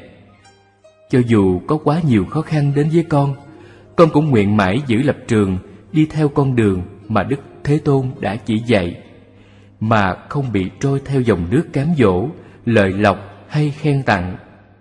Con nguyện không dướng bận vào chúng, để chúng không ràng buộc.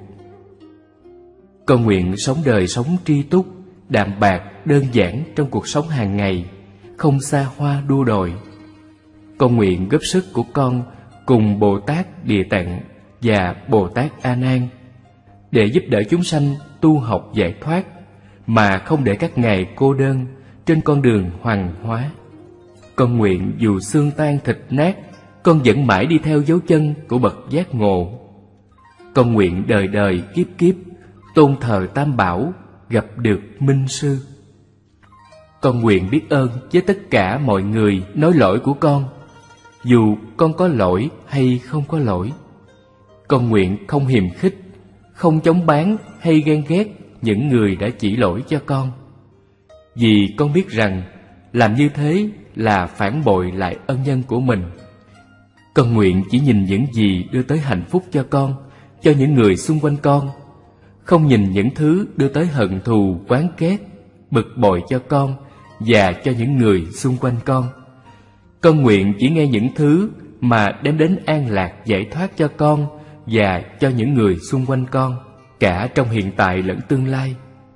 Con không nghe những thứ mà đem đến hận thù, quán ghét chia rẽ, khổ đau. Con nguyện chỉ nói những tiếng mà đưa đến hạnh phúc cho con, cho những người xung quanh con, cả trong hiện tại lẫn tương lai. Mà không nói những tiếng đưa đến chia rẽ hận thù, quán ghét khổ đau. Con nguyện chỉ nghĩ những thứ mà làm cho con được an lạc và giúp người khác được an lạc, cả trong hiện tại lẫn tương lai. Con không nghĩ những thứ đưa đến khổ đau, buồn bực, làm tổn thương đến mình và người. Con nguyện chỉ thụ hưởng những thứ đưa đến mạnh khỏe cho thân thể và tâm hồn con, cả trong hiện tại lẫn tương lai con nguyện không hưởng thụ những thứ mà đưa đến tàn hoại thân thể và tâm hồn. Để trở thành người phật tử tốt, quy y là giai đoạn đầu tiên mà người học phật cần phải làm. Quy y nghĩa là hướng về tam bảo để nương tựa, tiếp thọ và thực hành.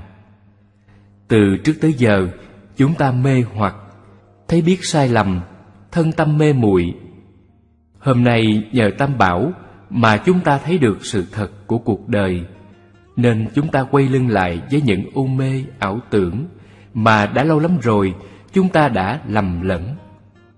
Nhờ tam bảo đã dẫn lối nên hôm nay chúng ta mới thấy được con đường đưa đến hạnh phúc đích thực nhờ tam bảo bên ngoài mà chúng ta quay lưng lại với si mê tà kiến để nương tựa trở về với sự chân chính với trí tuệ sáng suốt với thân tâm không bị ô nhiễm ở nơi chính mình. Chính giác tình. Vì thế, điều kiện cơ bản của người học phật nhất định là chúng ta phải quay lưng lại với si mê tà kiến để hướng về tam bảo. Chánh giác tình. Mê nhiễm ở tại mình. Chánh giác tình cũng ở tại mình cho nên chúng ta quy y là quy y với tự tánh tam bảo của chính mình. Đa phần chúng ta lâu nay thường ngộ nhận sai lầm về vấn đề quy y. Lâu nay chúng ta cho rằng quy y là quy y với một vị thầy nào đó. Đây là quan niệm hoàn toàn sai lầm của chúng ta. Quy y không phải là để nương tựa vào một vị thầy nào đó. Đứng về mặt tướng, quy y nghĩa là chúng ta quay về học hỏi tu tập theo tất cả chư phật chư tôn pháp và tất cả chư hiền thánh tăng. Ta nương tựa vào Tam Bảo để nhờ Tam Bảo chỉ dạy, dẫn dắt ta trên con đường tu học trở lại bến giác. Con về nương tựa Bụt, người đưa đường chỉ lối cho con trong cuộc đời. Con về nương tựa Pháp, con đường của tình thương và sự hiểu biết. Con về nương tựa Tăng, đoàn thể của những người nguyện sống cuộc đời tỉnh thức. Còn đứng về mặt tánh thì quy y là quy y với từ tánh tam bảo trong mỗi người của chúng ta. Về nương bụt trong con, xin nguyện cho mọi người thể nhận được giác tính, sớm mở lòng bồ đề. Về nương pháp trong con, xin nguyện cho mọi người nắm vững các pháp môn, cùng lên đường chuyển hóa. Về nương tăng trong con, xin nguyện cho mọi người xây dựng nên bốn chúng, nhiếp hóa được muôn loài.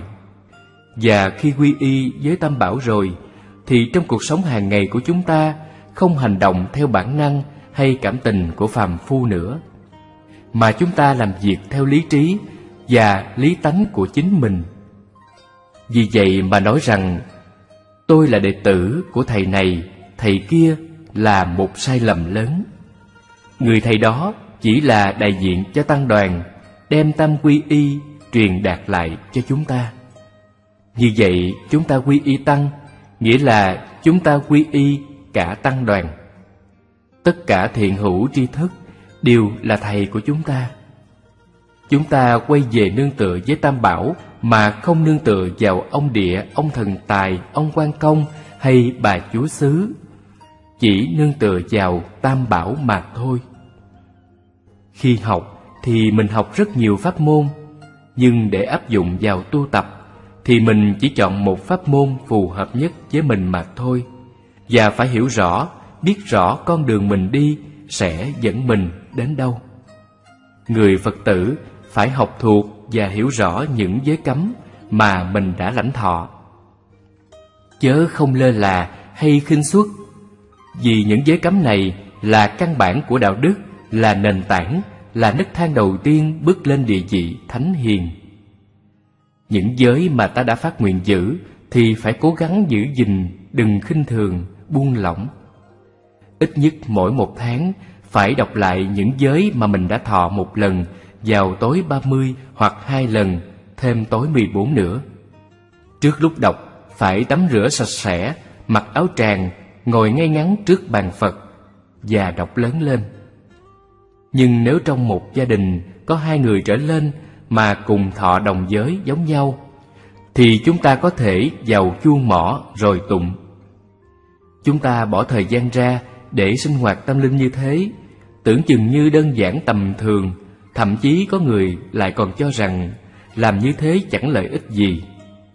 Nhưng các Phật tử à, những điều như thế thật không tầm thường chút nào.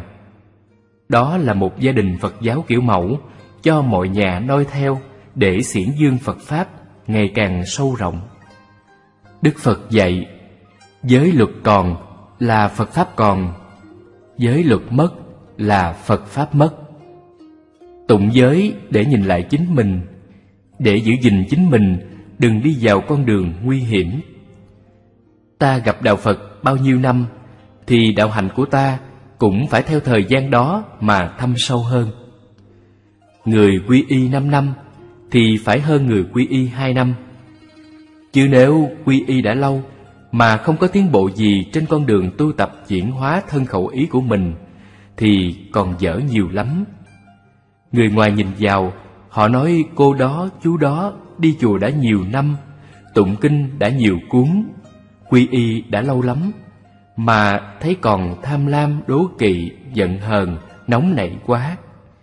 Chắc đạo Phật chẳng có gì hay, nên người ta quy y lâu năm như thế mới không bỏ được những tật xấu ấy.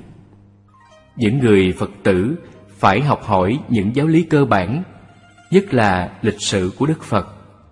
Phải biết rõ vì sao Đức Phật đi tu, bỏ ngay vàng điện ngọc, vợ đẹp con thơ.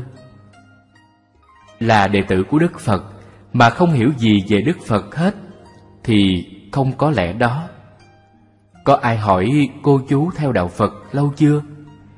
thì mình trả lời rất nhanh nhẩu rằng tôi theo đạo Phật đã mấy chục năm rồi. Hỏi quy y đã lâu chưa? Thì nói tôi đã quy y mấy chục năm rồi. Để chứng tỏ rằng mình là người đi trước. Nhưng người ngoài nhìn thấy oai nghi, đạo hạnh của mình thì như người vừa mới quy y hôm qua. Như vậy, sự tu tập của mình có xứng đáng với thời gian mà mình đã quy y mấy chục năm đó chưa? Chúng ta là đệ tử, là học trò của Bụt, mà chúng ta không làm theo Bụt một chút xíu nào, thì thử hỏi chúng ta có còn là Phật tử, là đệ tử của Bụt nữa không? Đệ tử Bụt nhất định là phải đi theo con đường mà Bụt đã đi.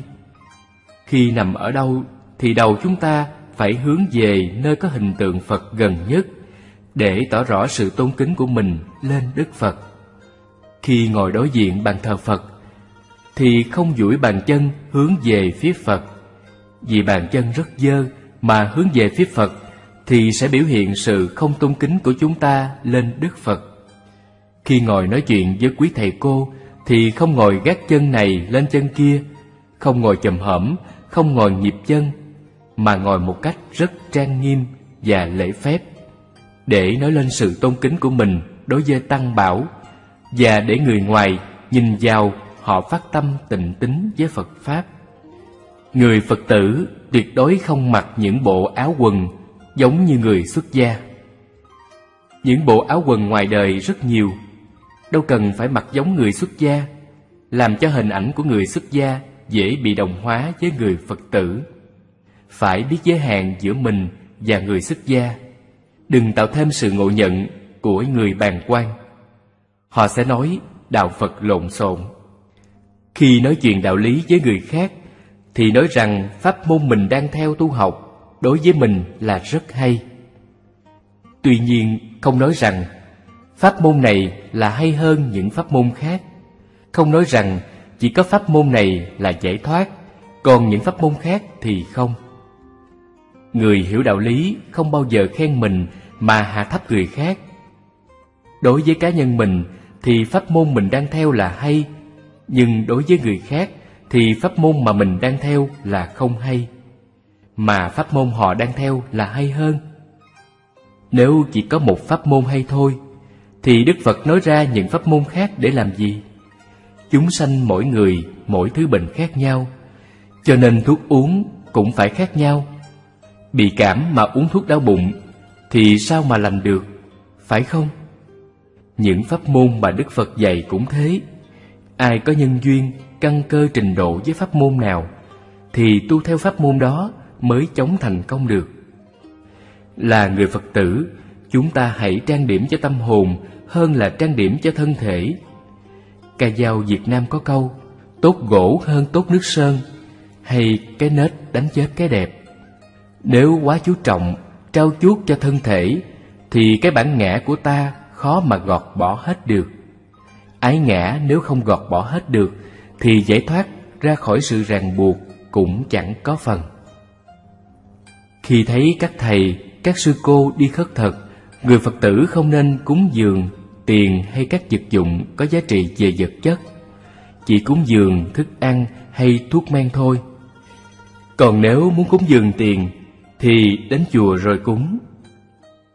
Có vị thầy cô đi xin tiền hay bán nhang để có tiền nuôi dạy trẻ em mồ côi, hay xin tiền để xây chùa, đúc chuông, tàu tượng, vân vân thì chúng ta cũng không nên cúng, trừ khi mình tới tận nơi rồi mới cúng.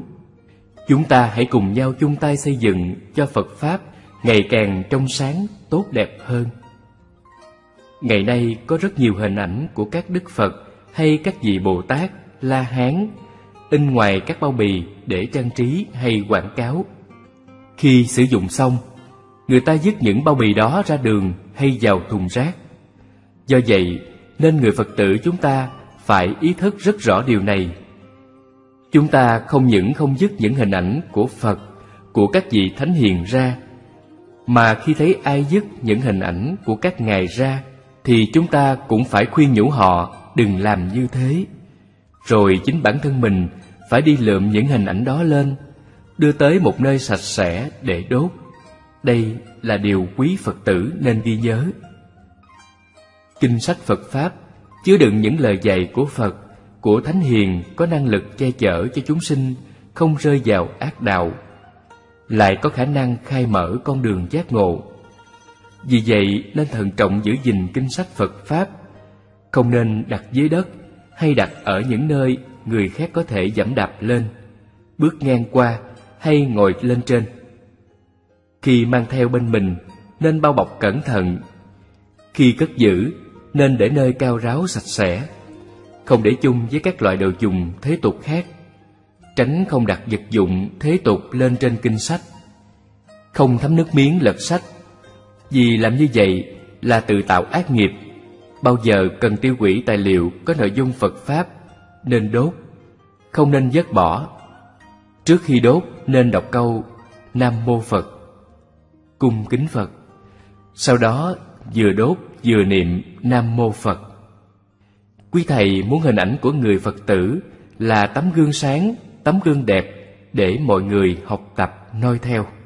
Trách nhiệm truyền bá Phật Pháp của người Phật tử Phật Pháp được trường tồn hay không là hoàn toàn phụ thuộc vào hàng đệ tử xuất gia và tại gia. Có áp dụng được những lời Phật dạy vào trong đời sống hàng ngày hay không? Nếu chúng ta chỉ biết nói Phật Pháp thôi mà không chịu thực hành, thì Phật Pháp sẽ chẳng có giá trị hiện thực nữa. Người nào có thực hành được lời Phật dạy bao nhiêu, thì người đó mới biết được giá trị Phật Pháp di diệu và màu nhiệm bấy nhiêu. Không thực hành được lời Phật dạy, thì làm sao có thể biết được Đạo Phật là cao siêu, là màu nhiệm. Cho nên chúng ta tu tập, phải có sự tiến triển, oai nghi tế hành. Đạo đức mỗi ngày phải được tăng trưởng. Bản thân của chúng ta tu tập phải được nhẹ nhàng, thảnh thơi. Được hạnh phúc tươi mát hơn lúc chưa biết tu chúng ta cởi dần những sợi dây trói buộc tham lam, ích kỷ, nhỏ mọn, giận hờn xấu xa trong ta ra. Rồi mọi người nhìn vào, họ sẽ thấy bước tiến triển của ta trên bước đường tu tập. Từ đó họ sẽ ngưỡng mộ mà tu tập theo. Chỉ cần áp dụng được những lời Phật dạy vào đời sống hàng ngày thôi, thì đó cũng là một cách hoàn pháp rồi. Khi áp dụng được Phật Pháp vào đời sống rồi, thì bổn phận của chúng ta phải biết đưa gia đình, bạn bè đến với đạo Phật. Phải tập cho con cháu trong gia đình biết chắp tay xá chào người khác, biết lại Phật, biết ngồi thiền hàng ngày. Mỗi gia đình phải chọn thời gian thích hợp để lập ra thời khóa công phu tu tập cho gia đình mình hàng ngày. Ví dụ như đúng 8 giờ tối, mọi người trong gia đình phải lên trước bàn thờ Phật để làm lễ. Gia đình nào tu thiền thì giờ đó ngồi thiền. Gia đình nào tu tịnh độ thì giờ đó ngồi niệm Phật. Gia đình nào tu giáo thì giờ đó ngồi tụng kinh. Có thể mỗi gia đình chỉ thực hành như thế 30 phút. Hay nếu không có thời gian thì 15 phút thôi cũng được. Nhưng phải làm đúng giờ và cứ làm như thế hàng ngày. Để tập cho mình và gia đình mình có một thói quen như thế. Chúng ta gieo vào người thân những hạt giống thiện lành, thì đời này hay đời sau, chắc chắn hạt giống lành đó sẽ ra hoa trổ quả. Nhất là các cháu nhỏ, mình phải tập cho các cháu có nếp sống tâm linh như thế từ ban đầu, để sau này dù các cháu sống ở đâu xa hay làm việc gì cũng nhớ về nguồn cội, cũng nhớ về nếp sống đạo đức mà cha mẹ ông bà đã gây dựng cho các cháu. Cũng dạy thêm cho các cháu biết chắp tay xá chào, biết lại Phật, biết mặc áo quần gọn gàng, sạch sẽ mỗi khi đứng trước Tam Bảo, vân vân. Nhưng người đi tiên phong đầu tiên chính là bản thân của mỗi người Phật tử chúng ta. Mình có thật sự mát mẻ, dễ thương, dễ gần gũi, thì mọi người mới thực hành theo mình. Chúng ta đã biết Phật Pháp là di diệu, là màu nhiệm, là cao quý bậc nhất trên thế gian này không gì có thể so sánh. Vậy tại sao ta không trao truyền cái màu nhiệm di diệu đó lại cho người thân của chúng ta? Chúng ta có thể trao truyền lại cho con cháu chúng ta một kho tàng đồ sộ về tiền tài, về danh vọng địa vị. Nhưng nếu con cái chúng ta không biết gì về nhân quả, về nghiệp báo, về đạo đức, thì hẳn là cái kho tàng mà ta cho là quý báu đó là một hiểm họa có thể giết chết con cháu ta trong nay mai đó sao? Cho nên, để lại cho con cháu một nền đạo đức về tâm linh, đó là thứ đầu tiên mà ta phải trao truyền. Sau đó mới trao truyền những thứ khác. Người Phật tử thường giao sự hoàng pháp cho người xuất gia, bảo rằng đó là trách nhiệm của quý thầy cô, chứ người Phật tử tại gia thì chẳng dính dáng gì. Nhưng quý thầy cô xuất gia lại không nghĩ như thế. Hình ảnh của người xuất gia khó truyền đạt giáo lý cho mọi người hơn là hình ảnh của người Phật tử tại gia. Người tại gia, dù ở bất kỳ nơi đâu, ngõ ngách nào cũng có thể truyền bá Phật Pháp được. Còn người xuất gia thì không thể. Trong bốn sự nhiếp phục, có đồng sự nhiếp. Đồng sự nhiếp thì người Phật tử thực hành dễ dàng hơn người xuất gia. Người Phật tử có thể ra chợ, ra đường, ở hàng cá, hàng thịt hay bất cứ chỗ nào, người Phật tử cũng có thể truyền bá Phật Pháp được cả. Còn người xuất gia thì số lượng ít hơn Phật tử tại gia. Lại lâu lâu mới ra đường, mà ra đường cũng khó tiếp cận được với người dân. Từ đó mà sự truyền bá những cái hay, cái đẹp của Đạo Phật khó khăn hơn người Phật tử tại gia.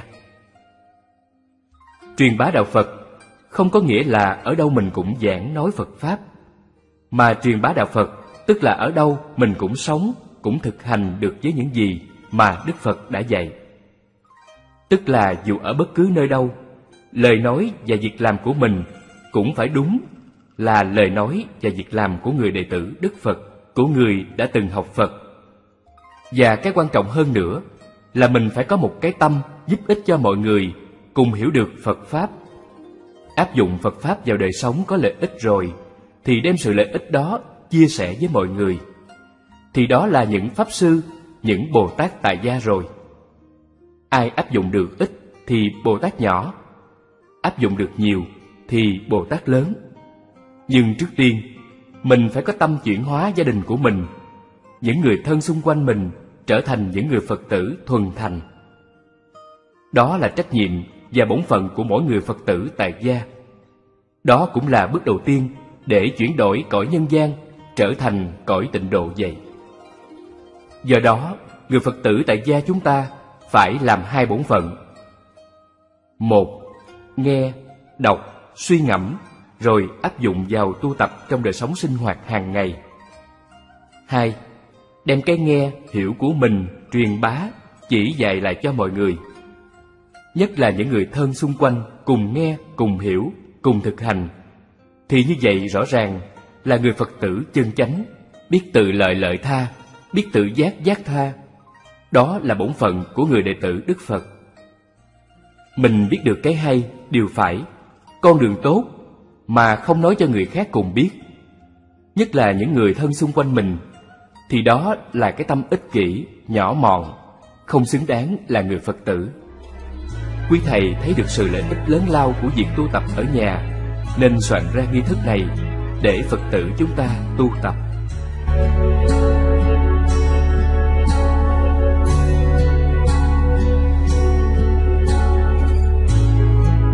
Tu tập tại nhà Lúc mình tu tập tức là lúc mình thực tập để làm Phật Mà ở trên đời này không có công đức nào lớn bằng công đức để làm Phật cả cho dù mình có bố thí, cúng dường tất cả của cải mà mình có được, hay cúng dường lên chư Phật cả thân mạng của mình, thì công đức cũng không bằng sự tu tập của mình ngày hôm nay.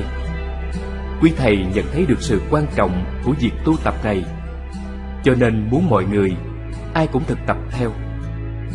Có rất nhiều gia đình, cha mẹ thì tinh tấn tu tập, nhưng đến đời con, cháu thì chúng chẳng biết gì về đạo Phật nữa.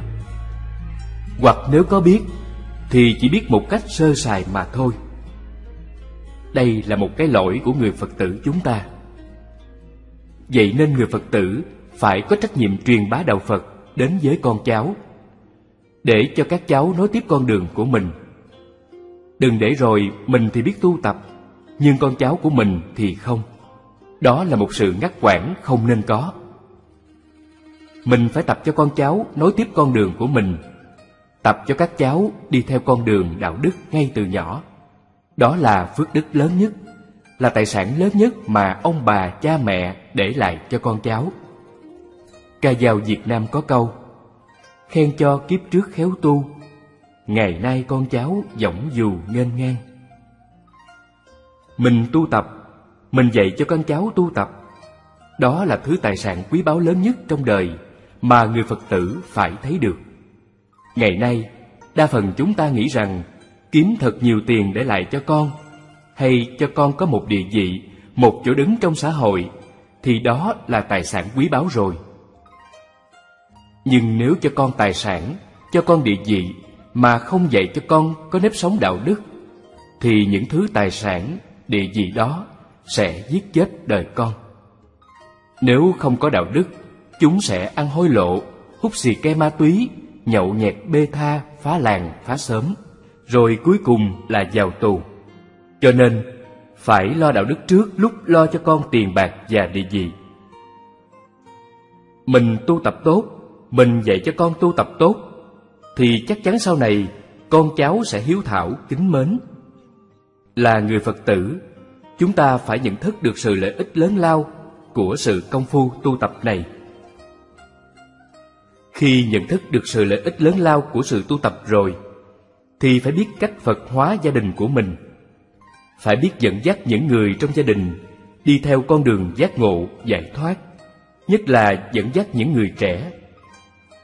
Sinh con ra một tháng Thì đưa cháu tới chùa để nhờ quý thầy làm lễ quy y cho cháu. Hay là thỉnh quý thầy về nhà Làm lễ quy y cho cháu cũng được. Từ ngày lên bốn tuổi Là phải đưa cháu lên tu tập thời khóa của gia đình rồi. Để cho các cháu nối tiếp truyền thống mà cha ông đã đi Đừng để cho gián đoạn. Cả cuộc đời chúng ta đã lo sự nghiệp lo cho gia đình, lo cho cái ăn, cái mặc, cái ở, cái ngủ rồi. Bây giờ ta phải dành chút ít thời gian lo dung đắp công đức, phước thiện, lo đạo đức cho mình, cho người thân. 23 giờ hàng ngày, chúng ta đã lo cho sự nghiệp của thế gian này rồi. Bây giờ phải dành chút ít thời gian để lo cho việc ra khỏi thế gian sanh tử nữa chứ. Của cải dù nhiều đến đâu Danh vọng dù cao đến mấy mà thiếu phước đức thì cũng không giữ được. Dùng chỉ 30 phút trong một ngày để tu tập dung bồi phước đức, dung bồi công đức, đó là sự mong muốn tối thiểu của quý thầy dành cho quý Phật tử tại gia.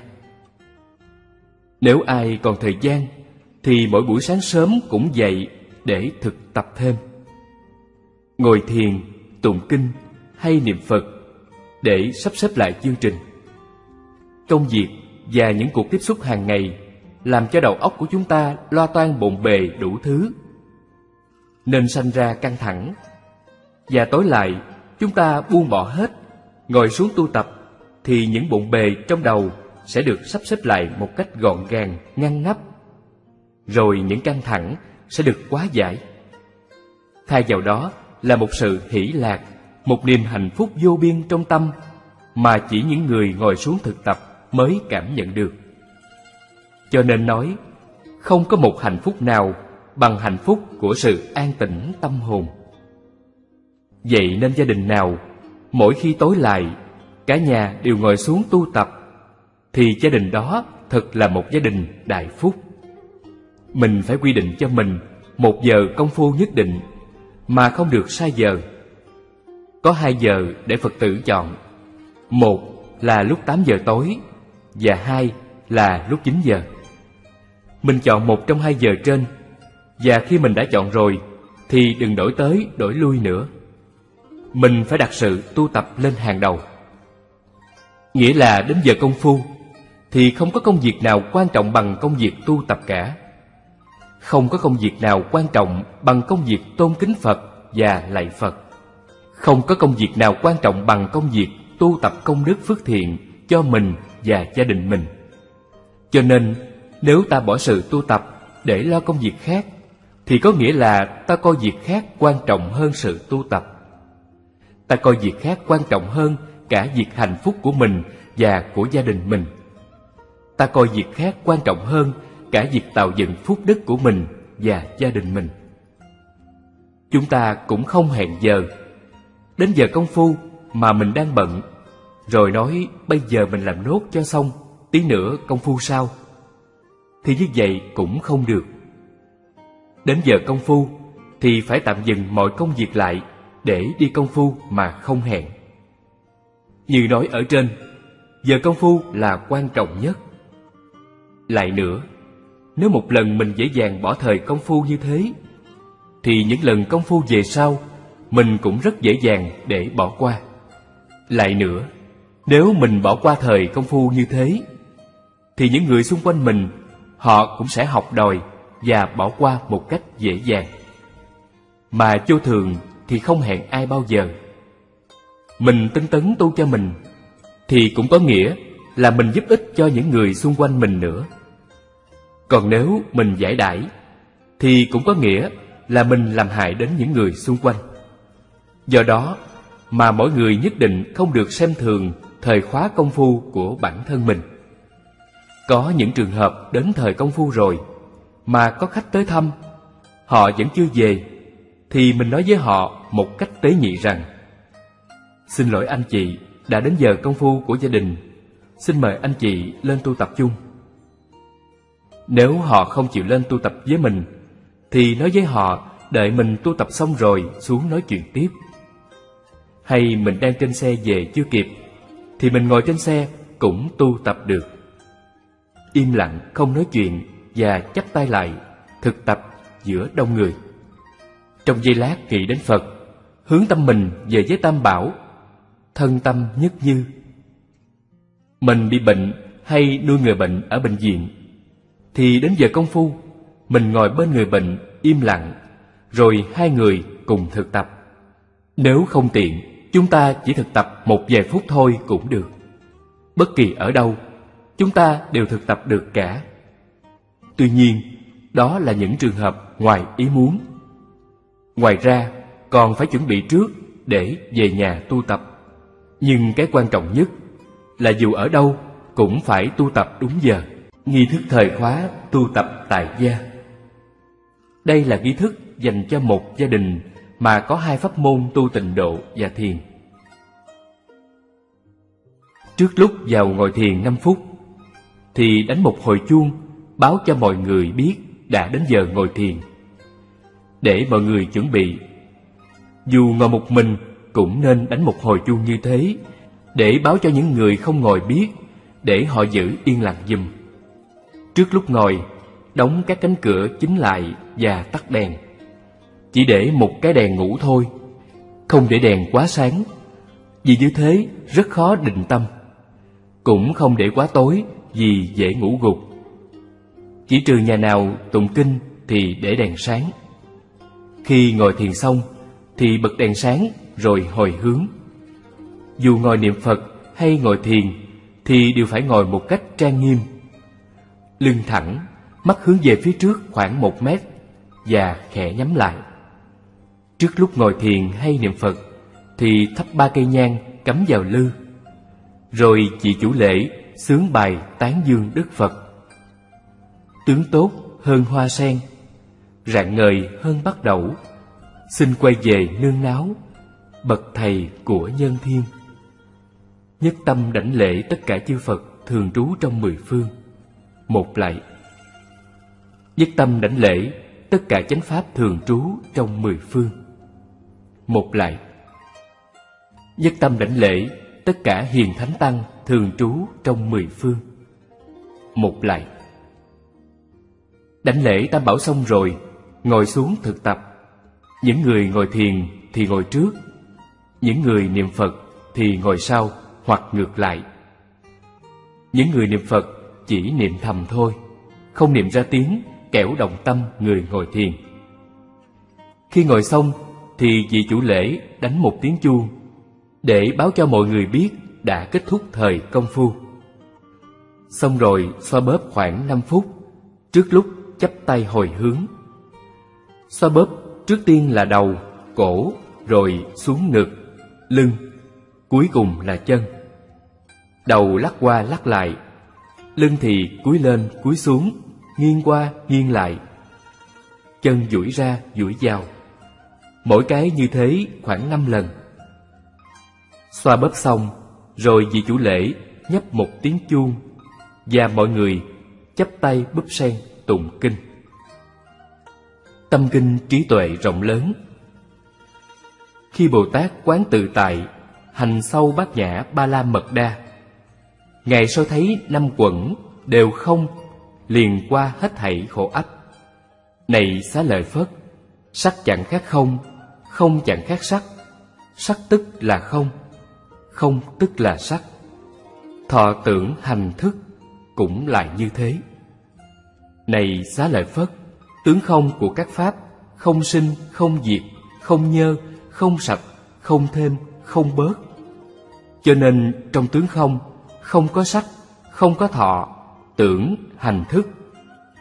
Không có mắt, tai, mũi, lưỡi, thân, ý. Không có sắc, thanh, hương, vị, xúc, pháp. Không có nhãn giới, cho đến không có ý thức giới. Không có vô minh, cũng không có hết vô minh.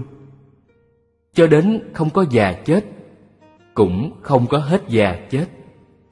Không có khổ, tập, diệt, đạo, không có trí tuệ, cũng không có chứng đắc. Vì không có chỗ được, nên Bồ Tát y theo bát nhã ba la mật đa, tâm không ngăn ngại. Vì không ngăn ngại nên không sợ hãi, xa hẳn điên đảo mộng tưởng, đạt đến cứu cánh niết bàn. Chư Phật trong ba đời cũng nương bát nhã ba la mật đa, được đạo quả vô thượng chánh đẳng chánh giác.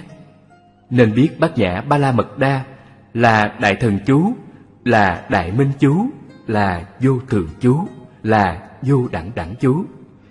Hay trừ được hết thảy khổ, chân thật không dối. Vì vậy nói chú bát nhã ba la mật đa, liền nói chú rằng Yết đế, yết đế, ba la yết đế, ba la tăng yết đế, bồ đề, tác bà ha. Nguyện cầu an lành Nguyện ngày an lành, đêm an lành Đêm ngày sáu thời đều an lành Tất cả các thời đều an lành Xin đấng từ bi thường gia hộ. Nguyện ngày an lành, đêm an lành. Đêm ngày sáu thời đều an lành. Tất cả các thời đều an lành. Xin nguyện tam bảo thường gia hộ. Nguyện ngày an lành, đêm an lành. Đêm ngày sáu thời đều an lành. Tất cả các thời đều an lành. Xin nguyện hộ Pháp thường ủng hộ.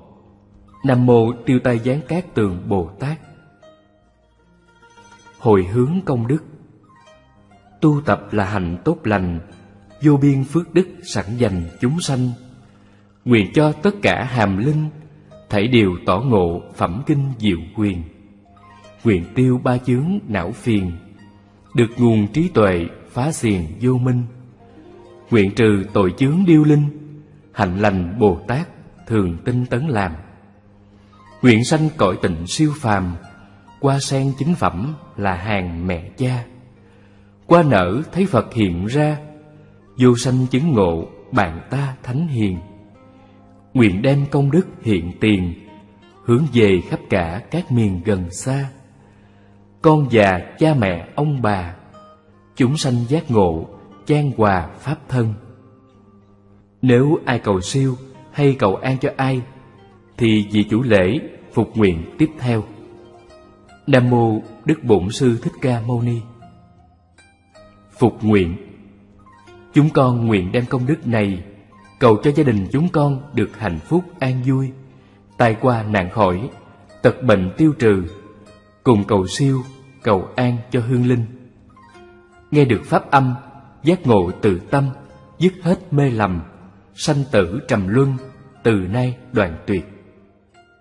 Nhờ ơn chư Phật Hướng thẳng cõi lành Nương diệu pháp cao đăng lạc quốc. Đại chúng đồng niệm. Nam mô Đức Bổn Sư Thích Ca Mâu Ni. Tự quy y Phật nguyện cho chúng sanh hiểu thấu đại đạo, phát tâm vô thường. Một lạy. Tự quy y Pháp, nguyện cho chúng sanh thâm nhập tam tạng, trí huệ như biển. Một lạy. Tự quy y Tăng, nguyện cho chúng sanh quản lý đại chúng, tất cả không ngại. Một lạy Đánh ba tiếng chuông, nghi thức chấm dứt. Đây là nghi thức dành cho hai pháp môn tu tập tịnh độ và thiền trong cùng một gia đình. Chúng tôi viết nghi thức này cho những người đã biết cách ngồi thiền rồi. Còn những ai chưa biết cách mà muốn ngồi thiền thì đến hỏi quý thầy tu thiền hay liên hệ với chúng tôi để quý thầy chỉ thêm. Đây là nghi thức dành cho gia đình tu theo pháp môn giáo, tụng kinh. Trước lúc vào thời khóa tụng kinh 5 phút, thì đánh một hồi chuông báo cho mọi người biết rằng đã đến giờ tụng kinh. Để mọi người chuẩn bị, dù tụng một mình cũng nên đánh một hồi chuông như thế để báo cho mọi người không tụng biết, để họ giữ im lặng giùm. Trước lúc vào tụng kinh, đóng các cửa chính lại cho thật sự trang nghiêm. Xong thắp ba cây nhang, cắm vào lư, rồi tất cả mọi người đứng ngay ngắn, chắp tay búp sen. vì chủ lễ sướng bài tán dương Đức Phật. Tướng tốt hơn qua sen, rạng ngời hơn bắt đậu. Xin quay về nương náo, bậc thầy của nhân thiên. Với tâm đảnh lễ tất cả chư Phật thường trú trong mười phương. Một lạy Nhất tâm đảnh lễ tất cả chánh pháp thường trú trong mười phương. Một lạy Nhất tâm đảnh lễ tất cả hiền thánh tăng thường trú trong mười phương. Một lạy Đảnh lễ tam bảo xong, rồi ngồi xuống tụng kinh. Cách thức đánh chuông mỏ, quý Phật tử đến chùa, nhờ quý thầy cô chỉ chùm. Xong rồi vào chuông mỏ tụng kinh. Phật phá cao siêu rất nhiệm màu, trăm ngàn ức kiếp khó tìm cầu. Con nay nghe đặng chuyên trì tụng nguyện tỏ như lai nghĩa nhiệm màu. Nam mô đức phật bổn sư thích ca mâu ni. Ba lần. Nam mô đại bi hội thượng phật bồ tát. Ba lần. Thiên thủ thiên nhãn vô ngại đại bi tâm đà la ni. Nam mô hắc ra đát na đa ra dạ gia. Nam mô a rị gia. Bà Lô Kiết Đế thước bát ra gia. Bồ Đề tác đỏa bà gia. Maha tác đỏa bà gia. Maha Kaloni Ca gia. Án tác bàn ra phạt duệ, Số đát na đát tỏa. Nam mô tất kiết lật đỏa y mông a rị gia. Bà Lô Kiết Đế thất Phật ra lăng đà bà. Nam mô Nara Cẩn Trì, Hê Rị, Maha Bàn Đa Sa Mế, Tác bà A Tha Đầu Du Bằng. A Thệ Dựng tác bà, tác đa nama bà già. Ma phạt đạt đậu đát điệt tha. Án a, bà lô hê, lô ca đế, ca ra đế, di hê rị, ma ha bồ đề tác đỏa tác bà tác bà, ma ra ma ra, ma hê ma hê rị đà dựng. Cu lô cu lô kiết mông. Độ lô độ lô, phạt xà gia đế. Ma ha phạt xà gia đế, đà ra đà ra. Địa rị ni thất Phật gia ra, giá ra giá ra, mà mạ phạt ma ra, mục đế lệ, y hê y hê, thất na thất na, a ra xăm Phật ra xá lợi, phạt xa phạt xăm, Phật ra xá gia, hô lô hô lô ma ra, hô lô hô lô hê rị, ta ra ta ra, tất rị tất rị, tô rô tô rô, bồ đề dạ bồ đề dạ, bồ đà dạ bồ đà dạ, ri đế rị dạ, Nara Cẩn Trì, Địa Rị Sắc Nina, Ba Dạ Mana, Ta Bà Ha, Tất Đà Dạ Ta Bà Ha, Ma Ha Tất Đà Dạ Ta Bà Ha, Tất Đà Du Nghệ, Thất Bàn Ra Dạ Ta Bà Ha, Nara Cẩn Trì Ta Bà Ha, Mara Nara Ta Bà Ha, Tất Ra Tăng A Mục Khê Gia Ta Bà Ha, Ta Bà Ma Ha, A Tất Đà Dạ Ta Bà Ha, Dạ Kiết Ra A Tất Đà Dạ ta bà ha, ba đà ma kiết tất đà gia, ta bà ha nara cẩn trì bàn đà ra dạ ta bà ha, ma bà lì thắng kiết ra dạ ta bà ha, nam mô hắc ra đát na đa ra dạ gia, nam mô a rì gia, bà lô kiết đế thước bàn ra dạ ta bà ha, án tất điện đô mạng đa ra bạc đà dạ ta bà ha, ba lần đại từ đại bi thương chúng sinh. Đại hỷ đại xả cứu muôn loài. Tướng tốt chói sáng tự trang nghiêm. Đệ tử chí tâm quy mạng lễ. Nam mô thập phương thường trú tam bảo, ba lần. Đến đây rồi tụng kinh gì thì vào luôn. Ví dụ như tụng kinh a di đà thì nam mô liên trì hải hội phật bồ tát. Xong rồi đến tụng bát nhã tâm kinh trí tuệ cứu kính rộng lớn. Khi bồ tát quán tự tại, hành sâu bát nhã ba la mật đa, ngài soi thấy năm quẩn đều không liền qua hết thảy khổ ách. Này xá lợi phất, sắc chẳng khác không không chẳng khác sắc sắc tức là không không tức là sắc. Thọ tưởng hành thức cũng lại như thế.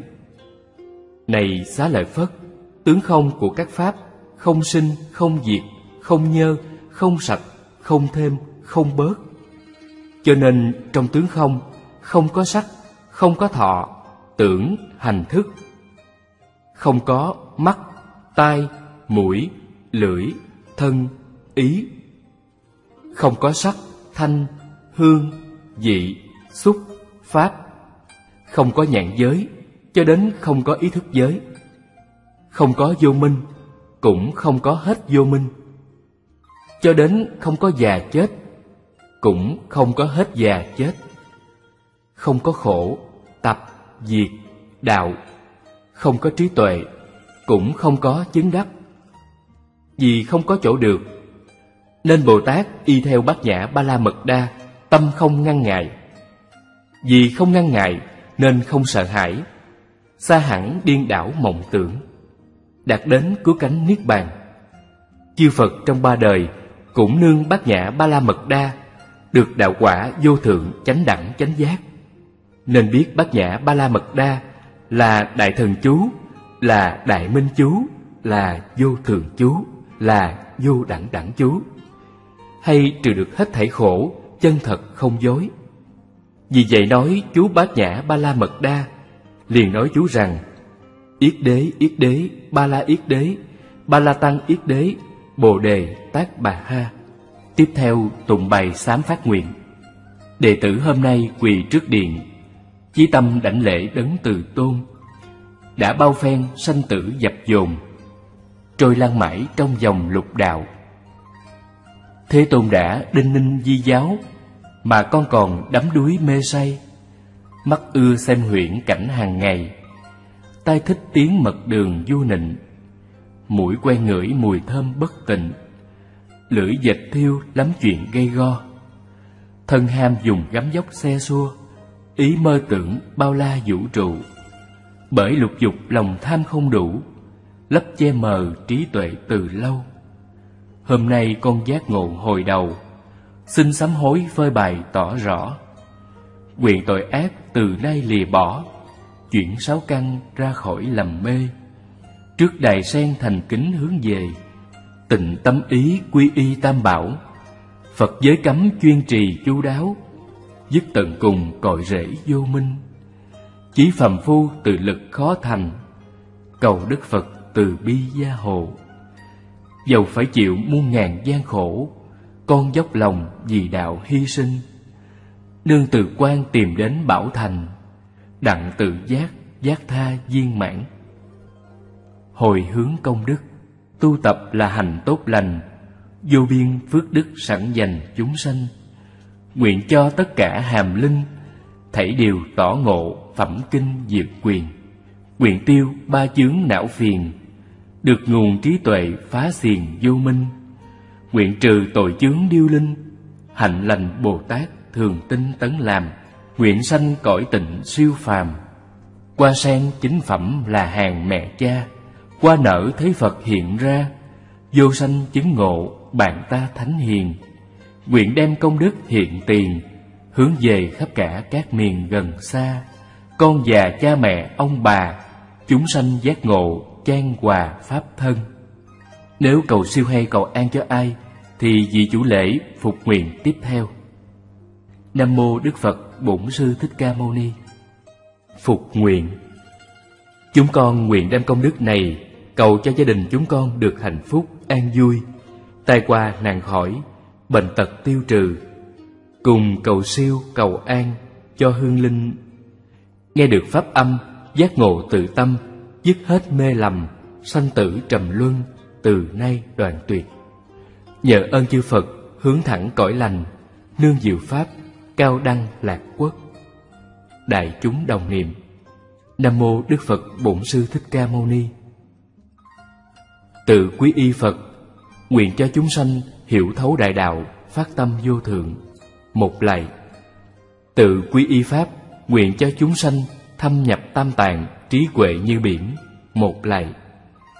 Tự quý y tăng, nguyện cho chúng sanh quản lý đại chúng tất cả không ngại. Một lạy. Đánh ba tiếng chuông, nghi thức chấm dứt. Phật tử lưu ý Có hai giờ để mình chọn. Một là 8 giờ tối Hai là 9 giờ tối. Chọn cho gia đình của mình một giờ tu tập cho thích hợp. Sau khi chọn xong thì không đổi tới đổi lui nữa. Và tối nào cũng phải đúng giờ để tu tập.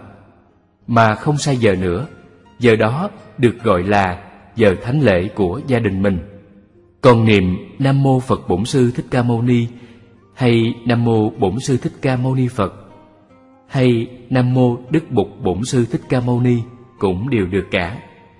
Nếu còn thời gian, quý Phật tử nên tụng thêm kinh Phước Đức sau.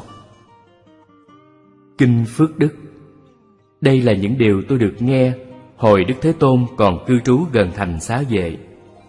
Tại tu viện cấp cô độc, trong giường kỳ đà, hôm đó trời đã vào khuya có một thiên giả hiện xuống thăm người.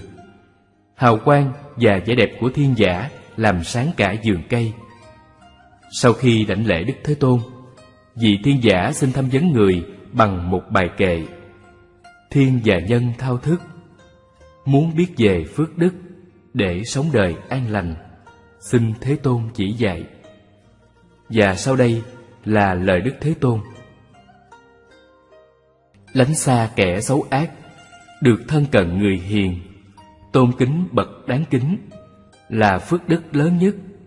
Sống trong môi trường tốt, được tạo tác nhân lành, được đi trên đường chánh, là phước đức lớn nhất. Có học, có nghề hay, biết hành trì giới luật, biết nói lời ái ngữ, là phước đức lớn nhất được cung phụng mẹ cha yêu thương gia đình mình được hành nghề thích hợp là phước đức lớn nhất. Sống ngay thẳng bố thí, giúp quyến thuộc thân bằng, hành xử không tỳ vết là phước đức lớn nhất.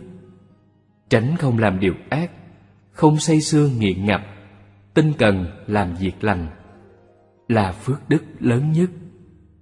Biết khiêm cung lễ độ, tri túc và biết ơn, không bỏ dịp học đạo là phước đức lớn nhất biết kiên trì phục thiện, thân cận giới xuất gia, dự pháp đàm học hỏi là phước đức lớn nhất. Sống tinh cần tỉnh thức, học chân lý nhiệm màu, thực chứng được niết bàn là phước đức lớn nhất. Chung đụng trong nhân gian, tâm không hề lay chuyển, phiền não hết an nhiên là phước đức lớn nhất. Ai sống được như thế, đi đâu cũng an toàn, tới đâu cũng vững mạnh. Phước đức của tự thân. Hòa thượng thích nhất hành dịch khi có việc đến nhà phật tử khác mà chưa kịp về thì ở lại đó thực tập với người nhà họ luôn. Nhưng tuyệt đối mình không được làm chủ lễ dù mình lớn tuổi hơn hay sự tu tập của mình đã lâu hơn những người trong gia đình để người nhà họ tự làm chủ lễ dù trong nhà chỉ còn một đứa trẻ.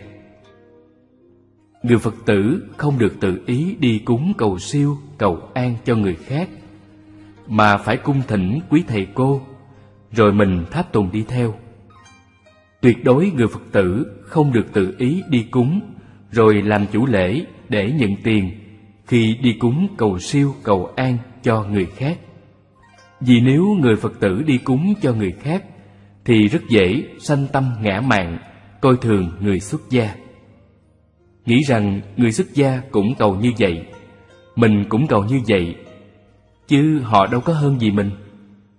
Từ đó mà con đường đọa lạc mở ra. Lại nữa, mình phải nghĩ cho những người khác. Nếu họ học đòi theo mình rồi đi cúng, họ nhận tiền, nhận sự cung kính của người khác.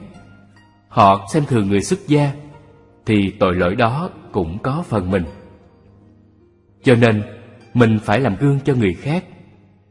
Vậy nên, người Phật tử chỉ làm chủ lễ những khóa tu tập ở nhà của mình hàng ngày mà thôi. Còn nếu trong nhà có việc gì đại sự, thì cũng phải mời quý thầy cô tới để hướng dẫn. Chứ không mời những người mà không phải xuất gia tới để làm chủ lễ, hướng dẫn cho gia đình mình. Mỗi tháng hai lần, nhằm ngày 14 và ngày 29 âm lịch, thì Phật tử đến chùa để sám hối.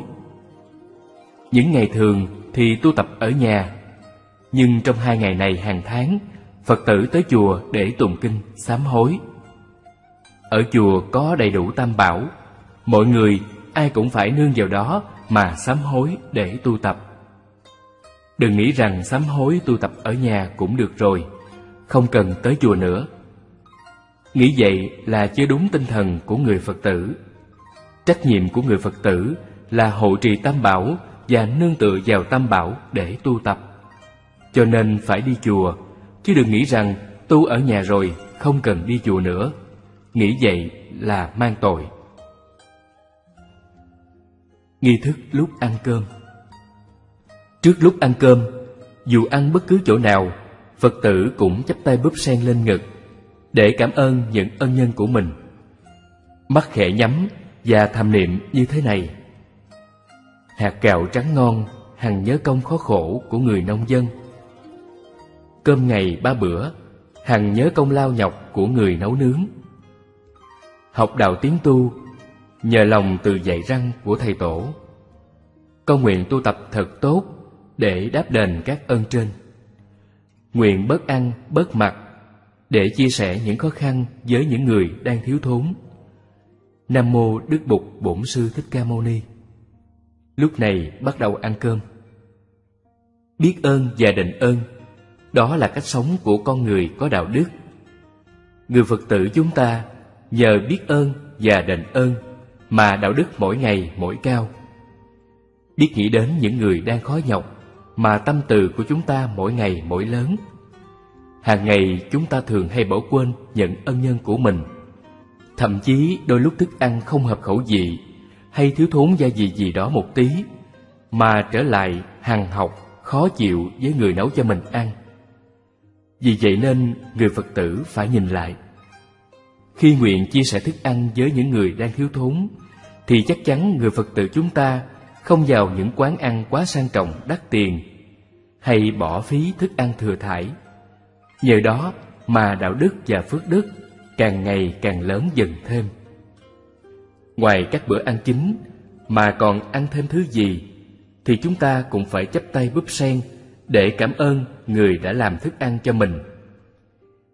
Chứ đừng nghĩ rằng tiền của mình để ra mua đồ ăn rồi nên không cần phải cảm ơn ai cả. Vì đây là vấn đề đạo đức. Người Phật tử muốn nuôi lớn đạo đức thì phải biết cảm ơn. Phật tử muốn được làm con Phật, muốn theo dấu chân Phật, muốn xứng đáng với danh từ Phật tử. Tất cả phải làm tròn bổn phận của người Phật tử. Nghĩa là nghe những gì Phật đã dạy, làm theo những gì Phật đã làm, đi theo con đường Phật đã đi. Cuốn sách nhỏ này, ai thấy có lợi ích thì thực hành theo còn nếu ai không thấy có lợi ích, thì cứ thực hành theo quay nghi nơi chùa mà mình thường đi đã quy định